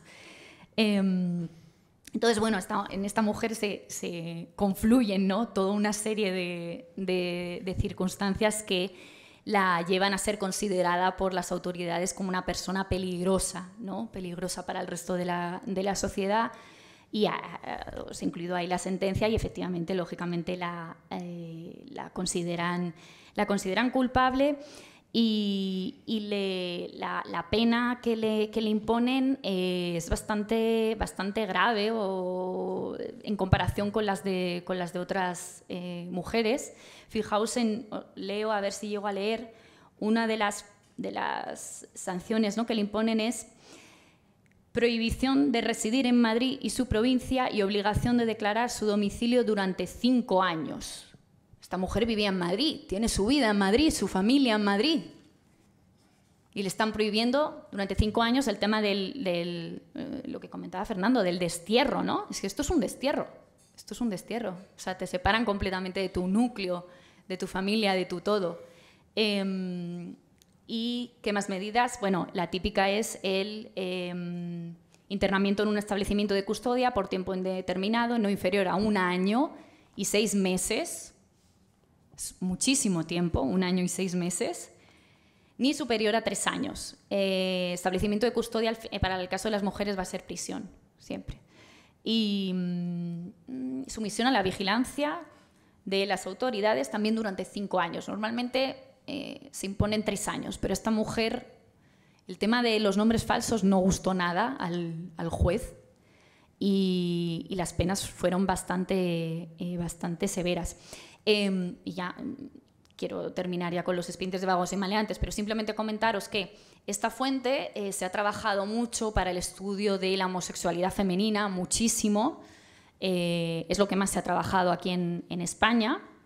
Pero no solo los expedientes de esta, los expedientes de vagos de maleantes o los juzgados no solo van a expedientar a, la homosexualidad femenina, o sea, eh, masculina, masculina. sí, masculina, sino que tenemos otras muchísimas categorías de peligrosidad que, están sin estudiar, o sea, están sin estudiar. Eh, hablamos, bueno, el caso de, por ejemplo, prostitutas, hay muchísimas, también extraperlistas, tenemos casos de eh, los todo en palabras, en palabras eh, de la época, no, no, mis propias palabras. Ebrios y toxicómanos, vagos, proxenetas, rufianes, y, esto está, está sin investigar. O sea, están ahí los, los expedientes cogiendo polvo en el Archivo General de la, de la Administración, ¿no? Los considerados vagos por el régimen, bueno, gente que no tiene un trabajo, digamos, reglado, ¿no? Eh, pues el régimen considera que esta gente es peligrosa, ¿no? Eh, entonces, bueno, para que lo sepáis, que lo que más se ha trabajado, os invito a, investigar las o sea, a buscar las investigaciones sobre la aplicación de expedientes de vagos y maleantes a, a hombres homosexuales, que se ha trabajado mucho. Em, y ya termino con la última fuente de Laga. No sé cómo vamos de tiempo, la verdad. minutitos, sí, cinco minutitos y ya. ¿Cinco minutos? pues, madre del señor. Eh, a lo mejor podemos retomar alguna cosa también del debate. Sí, sí. vale. Em, bueno, la última fuente que quería hablar, intento ir rápido, los expedientes policiales de la Dirección General de Seguridad, que se encuentran también en el AGA. Ahí os muestro la portada de Rosario Sánchez Mora, la dinamitera, hablamos de ella ayer. Esta es una detención de Rosario Sánchez Mora por vender tabaco en la vía pública. Lo comenté ayer, cuando sale Rosario Sánchez Mora de prisión, se dedica al extraperlo, porque no le queda, no le queda otra. Y fijaos lo que pone abajo, dice, fue puesto en libertad por padecer imposibilidad, em, imposibilidad física del brazo derecho, habiéndose comprobado su domicilio, y nos dice, tiene antecedentes en el Archivo Central de la Dirección General de Seguridad de haber sido condenada a 30 años por auxilio de la rebelión y políticos desfavorables. Bueno, la dejan libre, en este caso a Rosario, porque se había quedado manca, sabéis, durante la guerra eh, civil. En estos expedientes policiales encontramos, podéis encontrar expedientes policiales de presas comunes, presas políticas, detenidas gubernativas. Aquí os muestro un ejemplo de, lo mostré ayer, un expediente eh, policial, una detención policial de una mujer que ejerció la prostitución en la Plaza del Cascorro. Esta fuente, para el caso de las detenidas gubernativas, es fundamental por lo que os decía antes. Os, he mostrado ese expediente penitenciario, una detenida gubernativa, en el que no se muestra, no nos indica por qué entró en prisión. Pero si nos vamos a su expediente policial, podemos saber que en este caso fue por prostitución, por extraperlo o por lo que, por lo que fuese. De ahí la importancia de emplear siempre mm, fuentes, fuentes diversas. Em, y bueno, creo que no me voy a enrollar mucho, mucho más, ¿vale? Para que podamos a ver si podemos eh, acabar.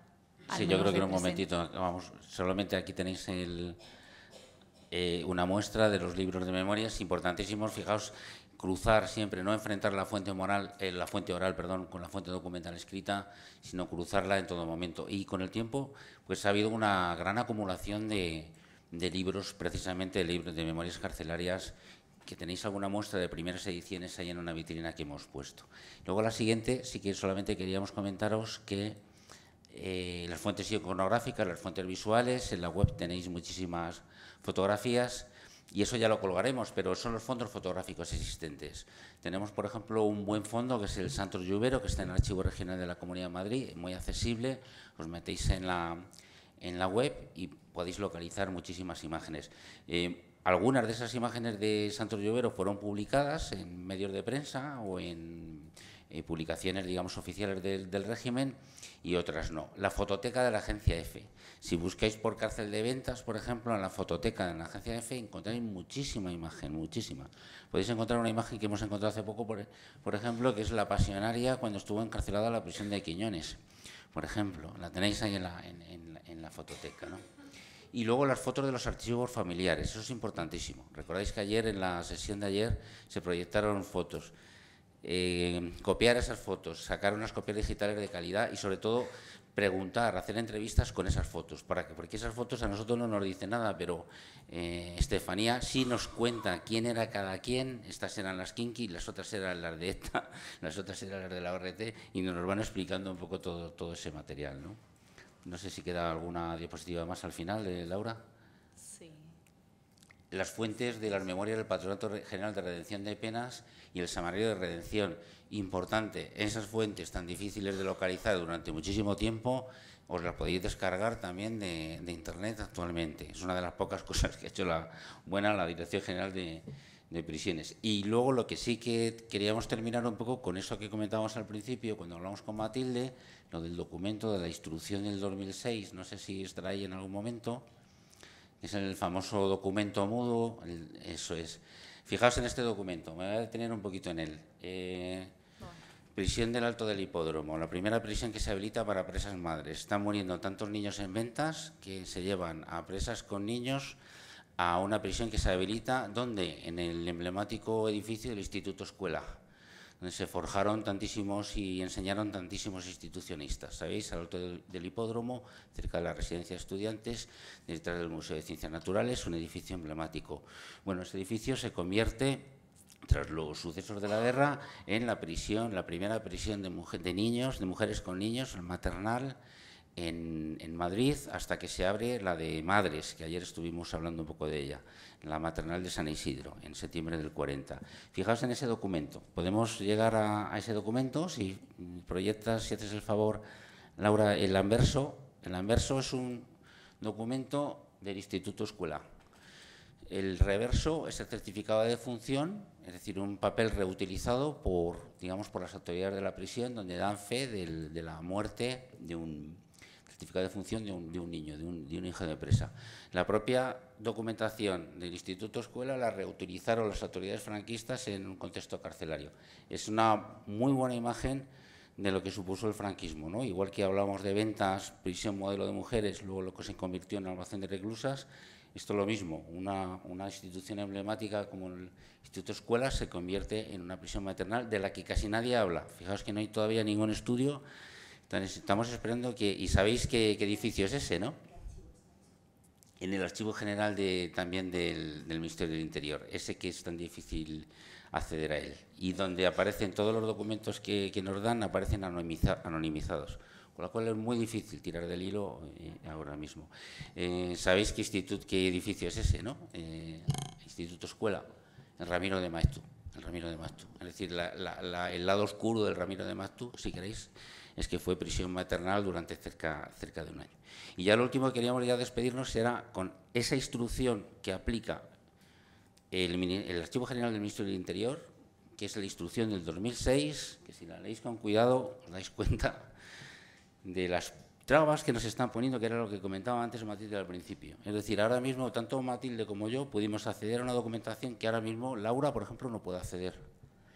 O sea, las investigadoras de ahora no pueden acceder a esos expedientes bueno, podemos acceder, pero eh, podemos acceder, pero eh, con muchísimas trabas. O sea, hay que hacer eh, una labor burocrática impresionante. Se puede acceder porque yo he consultado expedientes de las detenidas, de las detenidas gubernativas, pero el acceso es muy complejo y requiere mucho tiempo, una inversión de tiempo enorme, unas esperas tremendas, porque tened en cuenta que eh, al Archivo General del Ministerio Interior no, no se puede acceder como investigadores ni como ciudadanos, como en el AGA, que tú puedes ir allí libremente. Y eh, cuando pides documentación, esa documentación se te remite a ti en copias eh, físicas y se te envía a tu domicilio. Pero tienes que esperar a que te, a que te lo envíen, ¿no? Para que os hagáis una idea, yo he estado esperando año y medio. Año y medio documentación. Año y medio es la mitad de un doctorado si quieres, Laura, si quieres leer solamente este párrafo y el de abajo, y ahí está ¿Este? claro. Sí, no obstante, si la documentación contiene datos personales, aquí está la aplicación exhaustiva del famoso derecho a la intimidad, que recorta ya cualquier, cualquier derecho público. entonces, si lo lees, si haces favor... No obstante, si la documentación contiene datos personales que afectan a la intimidad de las personas, no podrá ser públicamente consultada sin que medie consentimiento expreso de los afectados titulares de los datos o de sus herederos o hasta que haya transcurrido un plazo de 25 años de su muerte, si su fecha es conocida, o en otro caso de 50 años a partir de la fecha de los documentos. El cómputo de 50 años se iniciará a partir de la fecha del documento más reciente contenido en el expediente, emitido en vida del afectado. Esto significa, por ejemplo, que un expediente funcionarial de una funcionaria de, de ventas, si tenemos, empiezan a contar 50 años a partir de la última anotación si esta mujer se ha, se, ha, se ha, jubilado en el año 70, 65, etcétera, pues tiene que pasar 50 años a partir de la última anotación para que podamos ver todo el expediente. ¿A quién se aplica sobre todo ese derecho de protección? Ahí va el segundo párrafo, Laura, si lo quieres leer. Se considerarán datos pertenecientes a la intimidad de las personas, los nombres y otros datos personales reflejados en los expedientes como resultado del ejercicio de sus funciones pertenecientes a funcionarios de instituciones penitenciarias, así como a funcionarios policiales y cualesquiera otros empleados públicos de la seguridad del Estado que figuren en actuaciones policiales y judiciales. Pues como veis, aquí está la trampa, ¿no? O sea, es decir, esa aplicación restrictiva y se aplica en, en ese caso. Bueno, ya nos hemos extendido bastante y perdonad, gracias. Vale, gracias.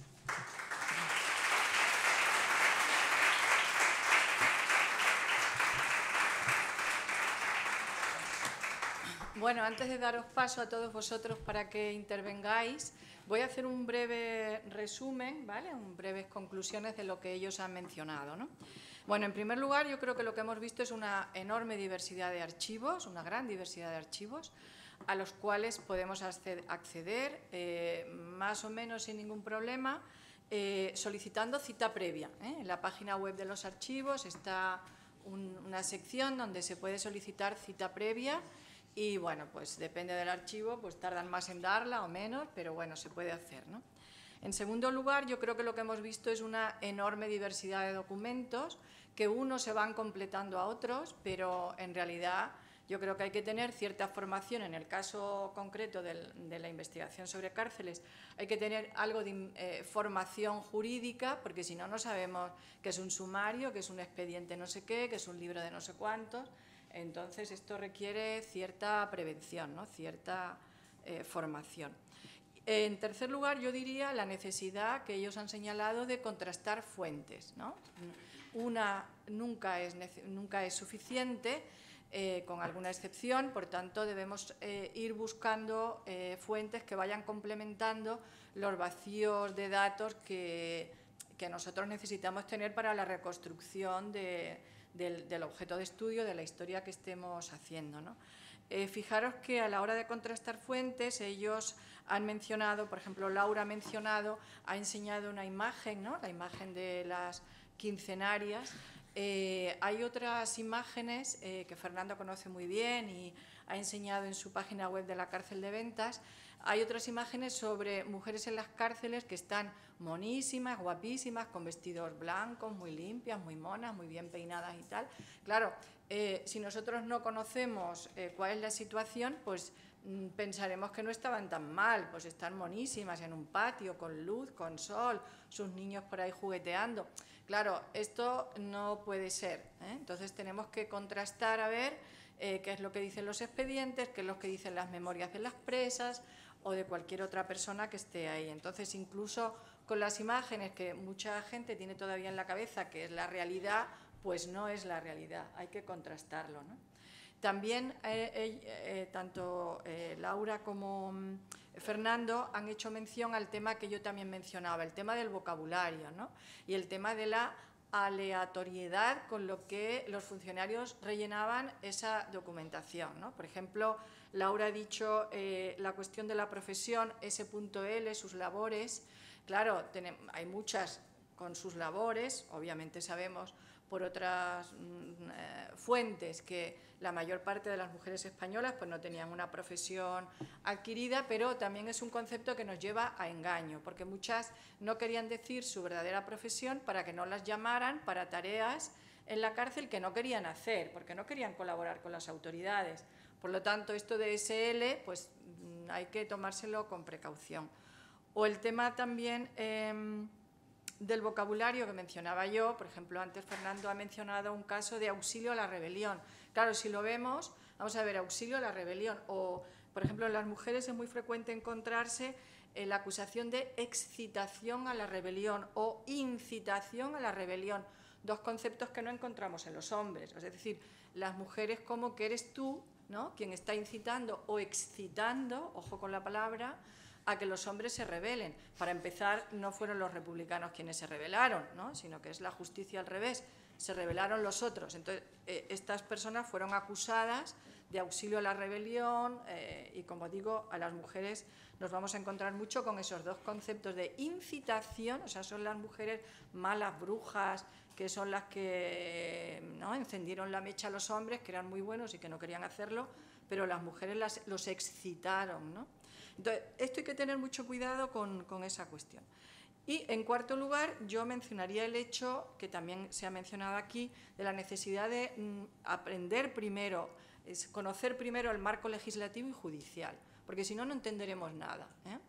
Y finalmente, yo como sugerencia, sobre todo porque veo estudiantes que puedan hacer sus TFG, sus TFM o sus tesis doctorales sobre estas cuestiones, eh, y bueno, y para el público en general, tenemos que estar prevenidos antes de ir a un archivo. No se puede ir a un archivo y tirarse a la piscina, ¿no? sino que hay que ver muy bien eh, cuál, es mi objetivo, qué tipo de documentación quiero, porque el archivo nos sobrepasa con la cantidad de documentación que hay. ¿no? Y tener en cuenta eh, qué fuentes mm, qué fuentes estoy consultando, qué fuentes necesito y preguntarnos las W que se preguntan, que se preguntan en los trabajos rigurosos de investigación. ¿no? Es decir, ¿quién ha hecho esa documentación? ¿Qué es lo que contiene? ¿A quién va dirigida? ¿Por quién lo ha escrito? ¿Por qué se hace así? ¿Eh? Eh, porque esto, esto, es muy importante para, el para entender el documento. No es igual un, libro de registros que un expediente procesal, que una carta. Entonces, no podemos coger una fuente y echarnos hacia la fuente, sino que tenemos que analizar previamente, pero ¿esto qué es? ¿no? ¿Qué, ¿Qué, me dice? ¿Qué me cuenta? Insisto, ¿quién lo ha escrito? ¿Querría que lo vieran o se, mantendría en el ámbito privado? ¿no? Entonces, yo os animo a que tengáis esas... Mmm, eh, prevenciones metodológicas antes de empezar una investigación, porque fijaros que de los datos que ellos han mencionado podemos hacer estudios de familiares, estudios biográficos de gente que tuvo un papel especial o eh, lo que ha mencionado Laura también, que es lo que está haciendo ella, estudios de colectivos. Y fijaros que estamos manejando datos identitarios, fechas de entrada y salida a la cárcel, delito, la autoridad que, que, la juzga, los testigos. Es decir, hay un montón de datos que hoy en día se pueden manejar muy bien a través de software de Big Data o incluso de programa Excel o Access. Los jóvenes lo, lo conocen, sobre todo, mucho más que nosotros, o al menos que yo. Entonces, es mucha documentación muy rica eh, y con la cual podemos trabajar muy bien, ¿no? Pero eh, yo creo que tenemos que tener en cuenta todas estas prevenciones que ellos nos han ido contando y animar a todos ustedes a, trabajar sobre ello. ¿no? Y entonces ahora es su turno. Así es que si tenéis preguntas, por favor, pues Fernando y, Laura lo contestarán gustosamente.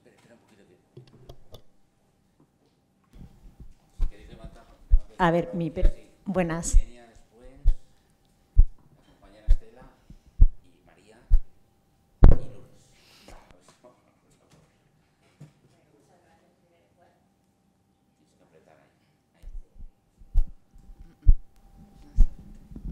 Hola, muchas gracias. Ha sido muy práctico, pero aún así mi pregunta es aún tira un poco más a lo práctico, ¿no? Porque esto es un taller.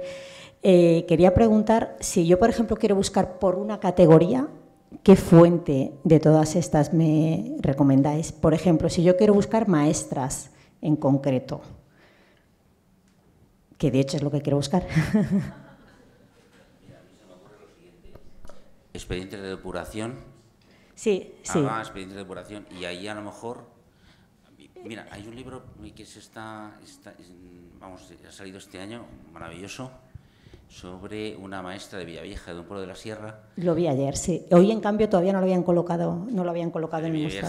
de Lozoya, y es un, de verdadero, un verdadero modelo de cómo se investiga sobre una maestra. Entonces, ella parte del expediente de depuración, porque, claro, en su caso el expediente de depuración derivó en una denuncia, que no tenía por qué suceder, pero esa es una de las vías. Vale. Y luego me ha interesado mucho esa motivación que nos has dado sobre las prisiones de mujeres a los que queremos investigar o a los que somos estudiantes. Prisiones de madres, no sé si luego me puedes profundizar un poco más, si quieres a mí o lo quieres hacer ahora aquí. Eh, bueno, prisiones de madres en Madrid, recuerdo un poco lo que he comentado, la prisión del Alto del Hipódromo, se organiza porque están muriendo muchísimo niño en ventas.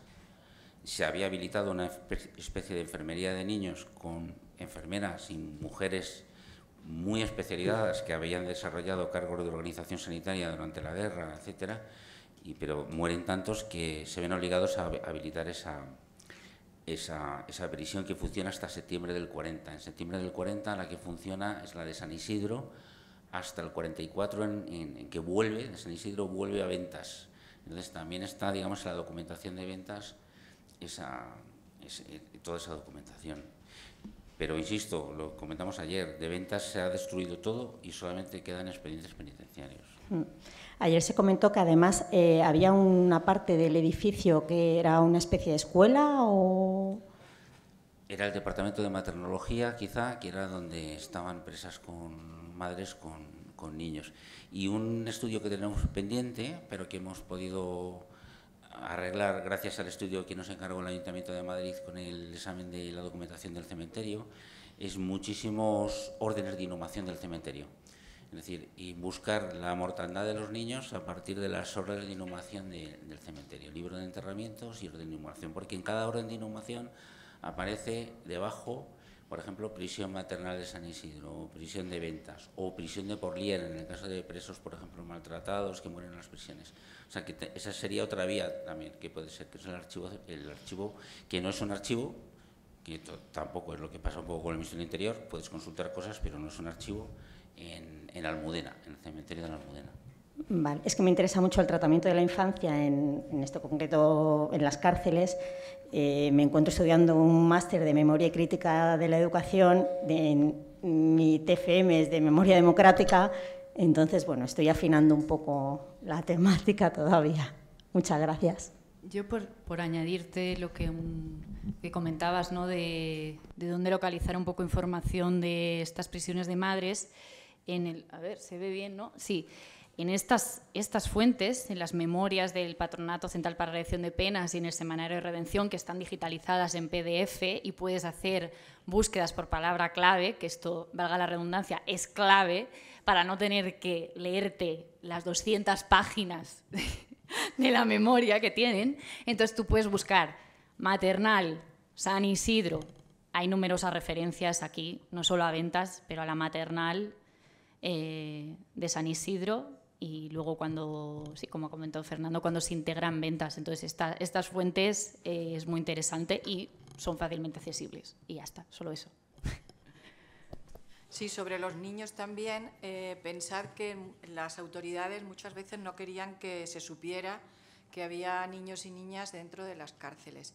Entonces hay que ver con mucho cuidado la documentación para detectar cuáles tenían. Yo te sugiero también el libro de Rosa María Aragüés sobre la cárcel de predicadores de Zaragoza, porque en esa cárcel es una tesis doctoral publicada fantástica y en, esa cárcel hubo, creo recordar que alrededor de 20 o 25 niños y niñas y entonces ella explica eh, cómo llegó a esa documentación.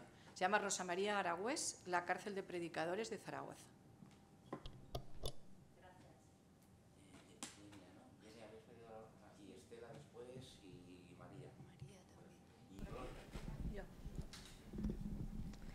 Bueno, yo quería contar alguna cosa eh, un poco graciosa, creo yo, dentro de lo que cabe, claro. Eh, bueno, yo tengo un montón de expedientes de mujeres de mi familia y de hombres de mi familia, eh, expedientes que empiezan desde, pues desde la Junta de Casado, que empieza la primera detención, aunque ahí mi padre no fue procesado, hasta el, hasta el 76, ¿no? Pero esta vez voy a hablar de las mujeres. ¿eh? Eh, entonces, mm, eh, quería comentaros, en la cárcel de ventas estuvieron mi tía, Vicenta Camacho, condenada a, a 30 años, que luego quedaron en 12, y, y, sobre todo quería contar también cosas de la, familia de mi marido, que concretamente solo de tres mujeres y a lo mejor en otro momento de otro montón de mujeres de su pueblo que eran de la familia lejanas, condenadas por excitación a la rebelión. Yo la primera vez que vi aquello no lo podía, no lo podía entender y la cosa consistía en que se situaban por sitios del pueblo para eh, avisar de la eh, en reuniones, avisar de la presencia de alguien sospechoso. En fin, y con consecuencias tremendas esas mujeres. ¿eh? O sea, que voy a pasar. Y luego mi suegra y sus dos hermanas pues estuvieron, y mi suegra en concreto, bueno, Dos de las hermanas estaban penadas a muerte y estaban en los sótanos esos para penadas hasta que las conmutaron. Mientras ellas estaban esperando su condena, fusilaron al marido de una de ellas en el cementerio del Este, está en esas listas del cementerio del Este. Pues bien, mi suegra participó de una manera lateral en la fuga y a mí me han contado montones de veces, muertas de risa, la fuga porque bueno, mi suegra tenía una labor, se conoce en la, en la fuga, un poco lateral, ¿no? Eh, así que acompañó, a partir de unos pasillos ya se volvió Y en ese momento en ventas había muchísima gente y dormían en el suelo pegadas unas a otras, ¿no? Y las hermanas, que no preguntaban ni a su hermana, que ya habían subido, habían salido de la cena de penadas, de las celdas de penadas. Y entonces le hicieron un hueco porque mi suegra ahí se metió. Enseguida empezaron los movimientos extraños. Enseguida se comunicaron entre ellas que habían salido y habían saltado la tapia. Eran dos. No me acuerdo del nombre de una, sí de otra, Chon, porque había estado involucrada en otros expedientes, también con mi padre, con mi tía, etcétera, ¿no? Y bueno, así que lo que hicieron las presas, las estuvieron recontando toda la noche. Entonces lo que hicieron fue gritar y, ir saltándose del sitio que estaban en la formación para que las volvieran a contar y no supieran realmente si se habían ido o no se habían ido, ¿no? Bueno, esta fue la, historia que, bueno, yo me acuerdo de cómo nos hacía la tía Marina, justamente la del marido fusilado, cómo, cómo nos contaban los gritos, el tipo de gritos el, ¿Qué pasa? ¿Qué pasa? Decían eh, algunas, decían, que hay ratones, que hay ratones. bueno, y fue una cosa que lo contaban ellas muy divertidas. ¿no? Eh, y del, del, caso de mi tía os quería contar, bueno, los expedientes, buscamos los expedientes militares y yo tengo una recopilación tremenda con la que no he hecho nada. Me parece que si vosotros vieseis esas cosas os parecería un sacrilegio que yo tenga los papeles amontonados sin hacer demasiadas cosas. ¿no? Y eh, otra de las cosas que me llamó mucho la atención, igual que lo de excitación, era en el caso de mi tía el expediente completo, como eh, primero, cuando tienen la libertad condicional, que no, las daban ni mucho menos cuando les tocaba tenerla, ¿eh? cuando ya estaba mm, dictada el papel aquel, pues eh, la cárcel misma, mi tía estuvo al principio en Ventas y luego en Segovia, lo retenía otro montón de meses. Cuando se salía, todavía quedaba la libertad condicional, sabéis que era un tercio de la condena, en ese tiempo, perdón, tenían que tener un domicilio comunicado, pedir permiso si cambiaban, etc. No tenían pasaporte. Nosotros, que estábamos por, por, los asuntos de mi padre en el exilio, ni nosotros pudimos venir a España a verlos, ni ellos, la familia, su hermana y su padre, que también había estado encarcelado, pudieron tampoco obtener nunca pasaporte. eso eran cosas que había laterales. Bien, en el expediente de mi tía, por ejemplo, uno de los, hay un último papel que es que a mí me parece una tomadura de pelo, que en la que les dice que, en fin, que les vaya bien, no sé qué mensajes pone, y les ofrecen ese hogar que tendrán al que, al que podrán retornar siempre. Más o menos esas son las palabras, ¿eh? con el que se cerraba ese expediente de, de una persona juzgada por el tribunal del coronel Aymar y que ha acabado en todo eso. Y claro, también deciros que no se ha comentado en estos días, antes de llegar a ventas, pasaban por la DGS. Mi tía estuvo dos meses y medio a paliza diaria, latigazos con una fusta diarios. No se podía ni sentar cuando llegó a ventas. Todo eso antes de llegar a ventas, que era una maravilla. ¿eh? Eso lo ha dicho muchos presos en muchos sitios. Eh, cuando salía de las, de DGS y llegaba a las prisiones. Nada más, era para contaros eso. Gracias. Nada.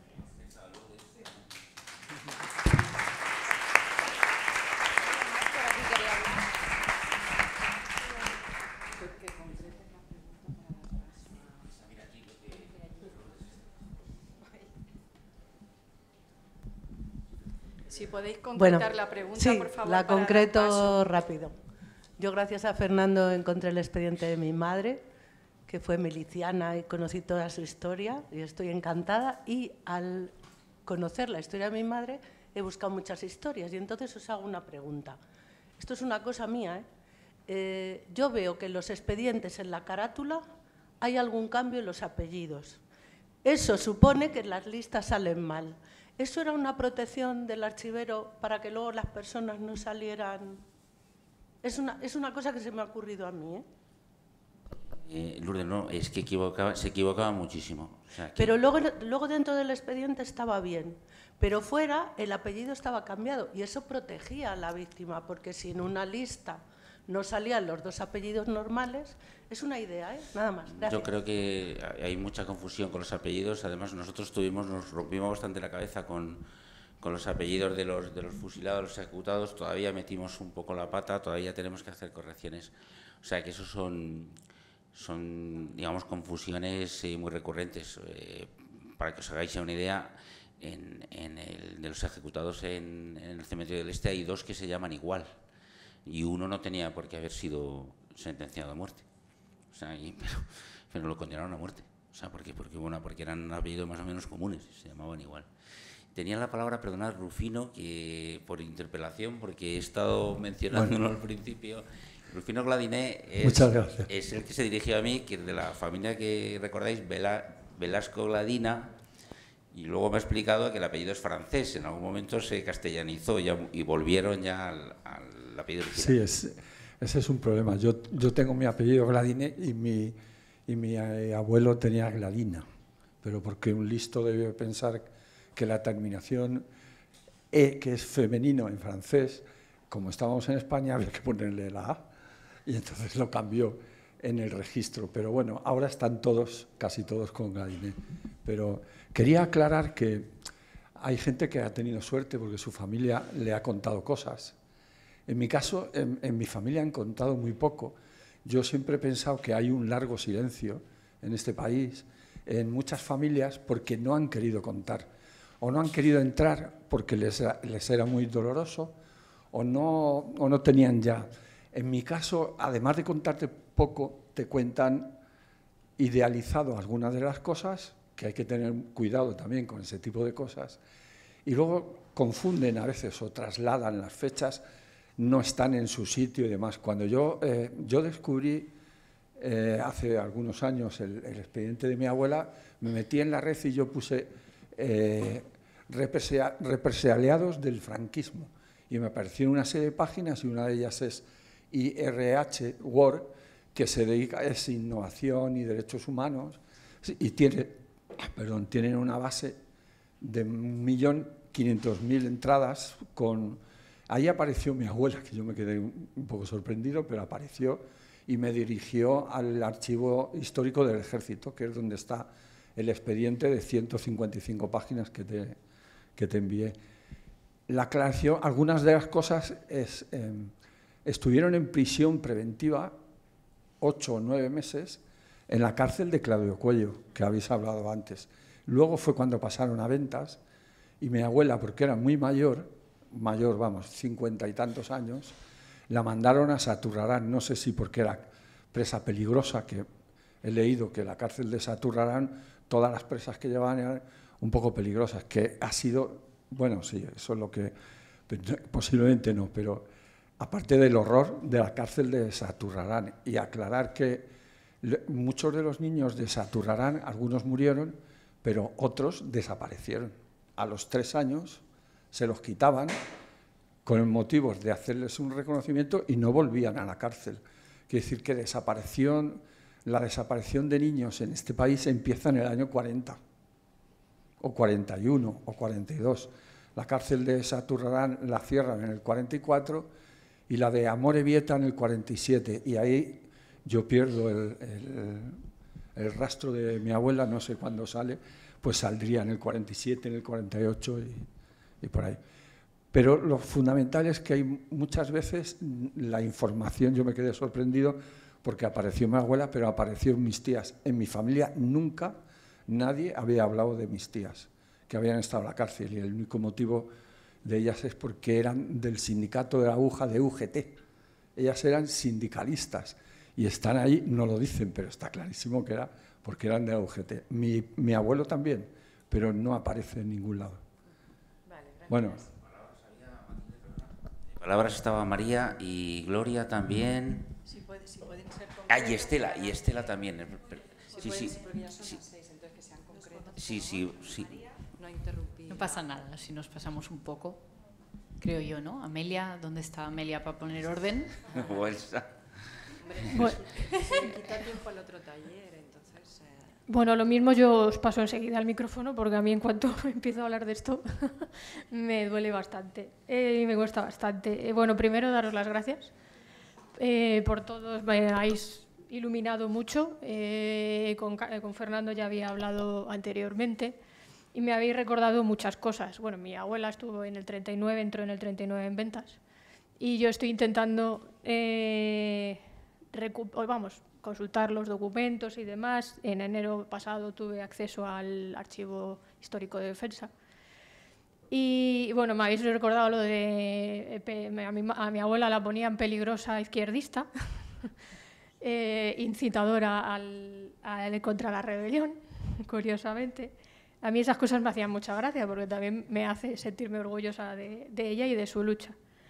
También en el mismo expediente venía mi, bisabuela, mi bisabuelo y dos tíos abuelos míos y recuerdo que la firma de mi bisabuela era, era una X, porque aparte de que no sabía escribir, eh, no tenía, eh, le faltaban los dedos de, la mano por la metralla. Entonces eh, es curioso porque la, has mencionado tú, Matilde. Y, luego la madre Serafín, no, no, sé si mi abuela escribía poesías y tiene dos, bueno, de las que le hemos conseguido, les conseguimos antes de que falleciera eh, grabar. hay dos dedicadas a la cárcel de ventas y en una de ellas dice la madre Serafín es la jefa de evacuación y todo el día nos tiene abajo y arriba con el colchón. Entonces, bueno, como voy a estar yo creo que en contacto con Fernando y con Laura, seguramente. Eh, os, puedo, os puedo ceder eh, las poesías que, ella tenía. Y bueno, me surgían dos cosas, claro, eh, lo del expediente de penitenciario de ventas, si es tan difícil conseguirlo. claro, tampoco se puede, ¿no? Por lo que os he entendido, tampoco se puede consultar ahí, porque estoy pendiente de ir a Salamanca a ver algún documento, eh, pero me han sugerido que vaya directamente allí. Digo, bueno, pues sin problemas. Pero claro, en el, expediente de penitenciario decís que es más complicado y, como has dicho Laura, eh, al año, año y pico a lo mejor te lo mandan eh, físicamente, ¿no? Pero claro, el proceso de que les escribo, le doy, les doy los datos de mi abuela y, me siento a esperar, ¿no? Sí, sí, es verdad. Quería matizar, sí, voy a matizar porque es verdad que eh, yo, pedí, yo pedí expedientes de, varias mujeres, pero con uno imagino que pueden tardar menos, pero estamos hablando de, plazos muy dilatados. ¿eh? Em, de todas maneras, eh, no, creo que no me voy a, no me voy a meter a, explicar el procedimiento, pero eh, lógicamente Fernando y yo lo, conocemos, lamentablemente no es, no es tan sencillo como enviar un correo, hay, hay, que rellenar una solicitud, unos anexos, pero habla con nosotros ahora en el, en el descanso o nos escribes el correo. O sea, Fernando y yo hemos hecho esta búsqueda, o sea, esta petición o hemos ayudado a hacer la petición con, otras, con otros eh, familiares, con lo cual estamos familiarizados y es por no extenderme demasiado porque es, un Poquito, es un poquito complejo, eh, pero que se, se, puede hacer, se puede hacer y te ayudamos, te ayudamos encantados. en, el caso, en el caso, por ejemplo, de Rufino, eh, recuerda lo que me han mandado, son lo que está anonimizado son los nombres de Isabel y de Juana, de tus tías. Y, y todavía te dicen que tienes que, o sea, que no eres familiar directo. Entonces vamos a ver. Sí. Pero yo lo que quiero es reseñar aquí, perdona que sea tan pesado, pero está muy bien lo de las calles dignas. Estoy mirando a ti. Ramón, está muy bien, pero por favor, vamos a hacer algo con los archivos, porque además se supone ahora quien está gobernando ahora tendría que hacer algo, tiene una buena responsabilidad. Estaba María Talán y Gloria, que no me la quiero dejar, que está aquí. Sí, sí, sí, pero ese micrófono que se mueva. Sí, sí, ya está. No, no, sí. Hola, ¿qué tal? ¿Cómo estáis? Vamos a ser generosas eh, con el uso de la palabra, con los tiempos, con la siguiente mesa, que ya vamos con retraso. Entonces, dos intervenciones más de 30 segundos, devolvemos a la mesa. Me toca este rol siempre, ¿vale? De, pero es que tenemos otra. O sea, creo que además es interesante que, que se dé este, que se dé este debate eh, pero que hay tiempo también para charlar con Fernando, con Laura, eh, con Matilde, hay un momento informal después en el café, entonces sí que os pido, porfa, eso. Voy a hablar súper, súper rápido porque, bueno, quiero razonarlo un poco para que se entienda un poco lo que voy a decir. Eh, primero, muchas gracias por el taller, muy ilustrativo y en general a las, jornadas, porque además a las que estamos terminando la carrera y empezamos a configurar nuestro futuro de otra manera, pues nos está abriendo puertas que yo hasta ahora pues desconocía. Voy a intentar ser muy rápida. Vale, eh, los historiadores oscilamos entre no tener que caer en generalizaciones, como por ejemplo que la represión lo explique todo, pero también tenemos que tener esa mirada crítica con absolutamente todo. Entonces, eh, a mí me ha llamado la atención un documento que habéis puesto en el que todas las entradas eran de prostitutas. La cosa es que yo me pregunto si, esta perspectiva se ha adoptado si hay alguna manera de rastrear a través de otras fuentes, también en el momento en el que no tenemos a la persona y no nos puede relatar pues, su vida al fin y al cabo, eh, si se puede rastrear si este motivo era cierto. ¿Por qué? Porque, por ejemplo, Vallejo Nájera eh, comenta que más del 50% de las rameras son irritables, son sensitivas, es decir, cumplen todos ese, ese modelo de feminidad. ¿no? Ayer, por ejemplo, se lanzaba que bueno, las, detenidas gubernativas podían ser también como eh, víctimas del sistema del régimen, pero bueno, yo, yo creo firmemente que más allá de eso eh, son víctimas de los modelos de feminidad. ¿no? Entonces, eh, lo digo porque podríamos pensar, vale, no, porque cumplen una pena de 15 días, 30 como mucho. La cosa es que lo que a mí me resulta llamativo en esto es que el mismo año en el que Franco, en este caso, abole el decreto que penaliza la prostitución, es el mismo año, unos meses después, en el que se crean las prisiones para eh, mujeres reincidentes en la prostitución. Entonces, no sé hasta qué punto, ya que el franquismo explica la, explica, la prostitución a través de, la psicología, intenta darle un fundamento eh, médico para atacarla, ¿Hasta qué punto no puede ser otra manera de eh, atacar a mujeres activistas a nivel político o bueno, que no, que no entran dentro de, lo, de, lo, que es óptimo para el régimen al fin y al cabo? No sé, a lo mejor es un charco, es, es bastante charco, pero bueno, forma parte de, de, yo creo, de esto que tenemos que hacer los historiadores, ¿no? de también cuestionarlo, cuestionarlo absolutamente todo. Gracias.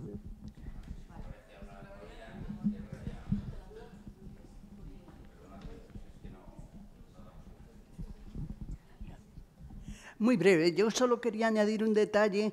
Cuando habéis hablado del Archivo mm, General Militar e Histórico de la Defensa, el de Paseo de Moret, efectivamente, entrando en la web se puede localizar la persona que nos interesa.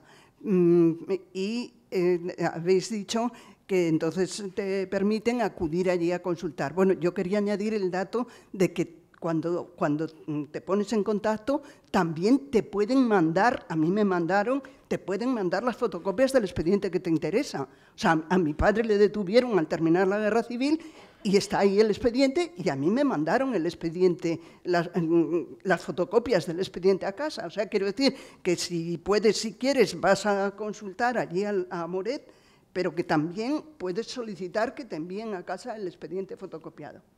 Bueno, y luego una pregunta concreta. ¿Dónde habéis conseguido la foto esa de las quincenarias de Quiñones? Que me ha llamado la atención. O sea, eh, ¿de dónde procede? Mm, ¿Dónde, ¿En qué archivo o en qué publicación la habéis encontrado? Nada más. Esa foto, esa foto es del, del del, del Fondo Justicia, del Fondo de Justicia. Sí, sí, sí, viene, viene, viene de ahí y, tenía ahí la anotación ahí en el negativo. Por eso siempre que la proyectamos, la proyectamos al revés para positivarla. Sí, sí, sí. Vale, pues si puedes terminar, ¿no? A ver, yo sí que quería comentar una cosa a María, pero es que me parece interesante lo que dices, porque eh, lo que ha estudiado Laura, eh, que es la prostitución clandestina, es un fenómeno que atraviesa el franquismo, pero es un, un fenómeno que nace a mediados del siglo XIX. Entonces, toda la consideración, calificación moral, médica, etcétera, sobre la prostitución es muy antigua. No le podemos achacar ese dudoso mérito al, franquismo, que es importante tenerlo en cuenta. Es decir, el franquismo no inventa, inventa algunas cosas y otras no las inventa. lo de las monjas trabajando en las prisiones no lo inventa. Lo que sí que inventa es que en vez de las hijas de la caridad, tiene trabajando a 22 órdenes religiosas distintas. Y vuelve a dar una vuelta de tuerca a esa especie de presión y moralización religiosa de los centros carcelarios. Pero eso ya existía desde 1880 en la penitenciaría de Alcalá de Henares. Eso es muy importante si estáis trabajando en historia, coger un poquito de larga duración y recoger lo de antes. Vallejo Nájera inventa algunas cosas y otras no. Otras va heredando de las teorías eugenésicas alemanas o incluso del pensamiento tradicional hispánico, el más puramente hispánico. ¿no? Es un señor muy poco moderno en ese sentido. Entonces, eso hay que tener cuidado con ello. Vale, muy bien. Pues nada, muchas gracias. Laura, a lo mejor ya termina y ya. Ah, vale, perdón. No, no, em, que es una pregunta muy, muy interesante. Em, me viene, o sea, espero no enrollarme mucho, pero me viene a la mente por lo que has comentado tú, que sí que los, que me corrija Fernando, si no, eh, sí que en los sumarios judiciales de las presas políticas muchas veces hay menciones ¿no? a las cuestiones morales ¿no? y se intenta de alguna manera descalificar completamente a las, ¿no? Hay veces incluso que se las clasifica de, prostitutas, casi, o sea, sí, Francisca lo sabe bien, que ha trabajado con todo eso. Eh, pero cuando hablamos de, o sea, con la documentación que he trabajado yo de, detenciones de prostitutas en la vía pública y demás, eh, yo no me he encontrado grandes, eh, prácticamente ningún caso de mujer que tuviese algún antecedente relacionado eh, con, la represión, con la represión política. O sea, yo sí que creo de verdad que, eh, que había, en general, lo que yo me he encontrado es que eh, son mujeres que no, no, tuvieron ningún tipo de... Em, no se involucraron de ninguna manera ni, y además también muchas veces em, estaban un poco, digamos, como desconectadas ¿no? de, em, eh, de la cultura, de lo que estaba, lo que estaba eh, ocurriendo, ¿no? Entonces, sí, son mujeres que simplemente se... sí, y además que eh, normalmente, por ejemplo, los expedientes, un expediente policial, habéis visto el caso de, Rosario Sánchez Mora, la están deteniendo por por vender tabaco, pero nos dice, oye, esta mujer ha sido, esta mujer es peligrosa, o sea, ha sido condenada por 30 años. Entonces, en el caso de una, de una detenida por prostitución, si hubiese tenido también una condena o, algo así, eh, también quedaría, lo normal es que quedase, quedase reflejado, porque eso, eso siempre, siempre eh, siempre se incluía, ¿no? Para tener bien identificada a esta persona. Y yo la verdad que me he encontrado muy, muy, pocos, muy pocos casos en ese sentido. Pero gracias por tu pregunta. Vale, pues muy bien, muchas gracias y seguimos después en un ratito.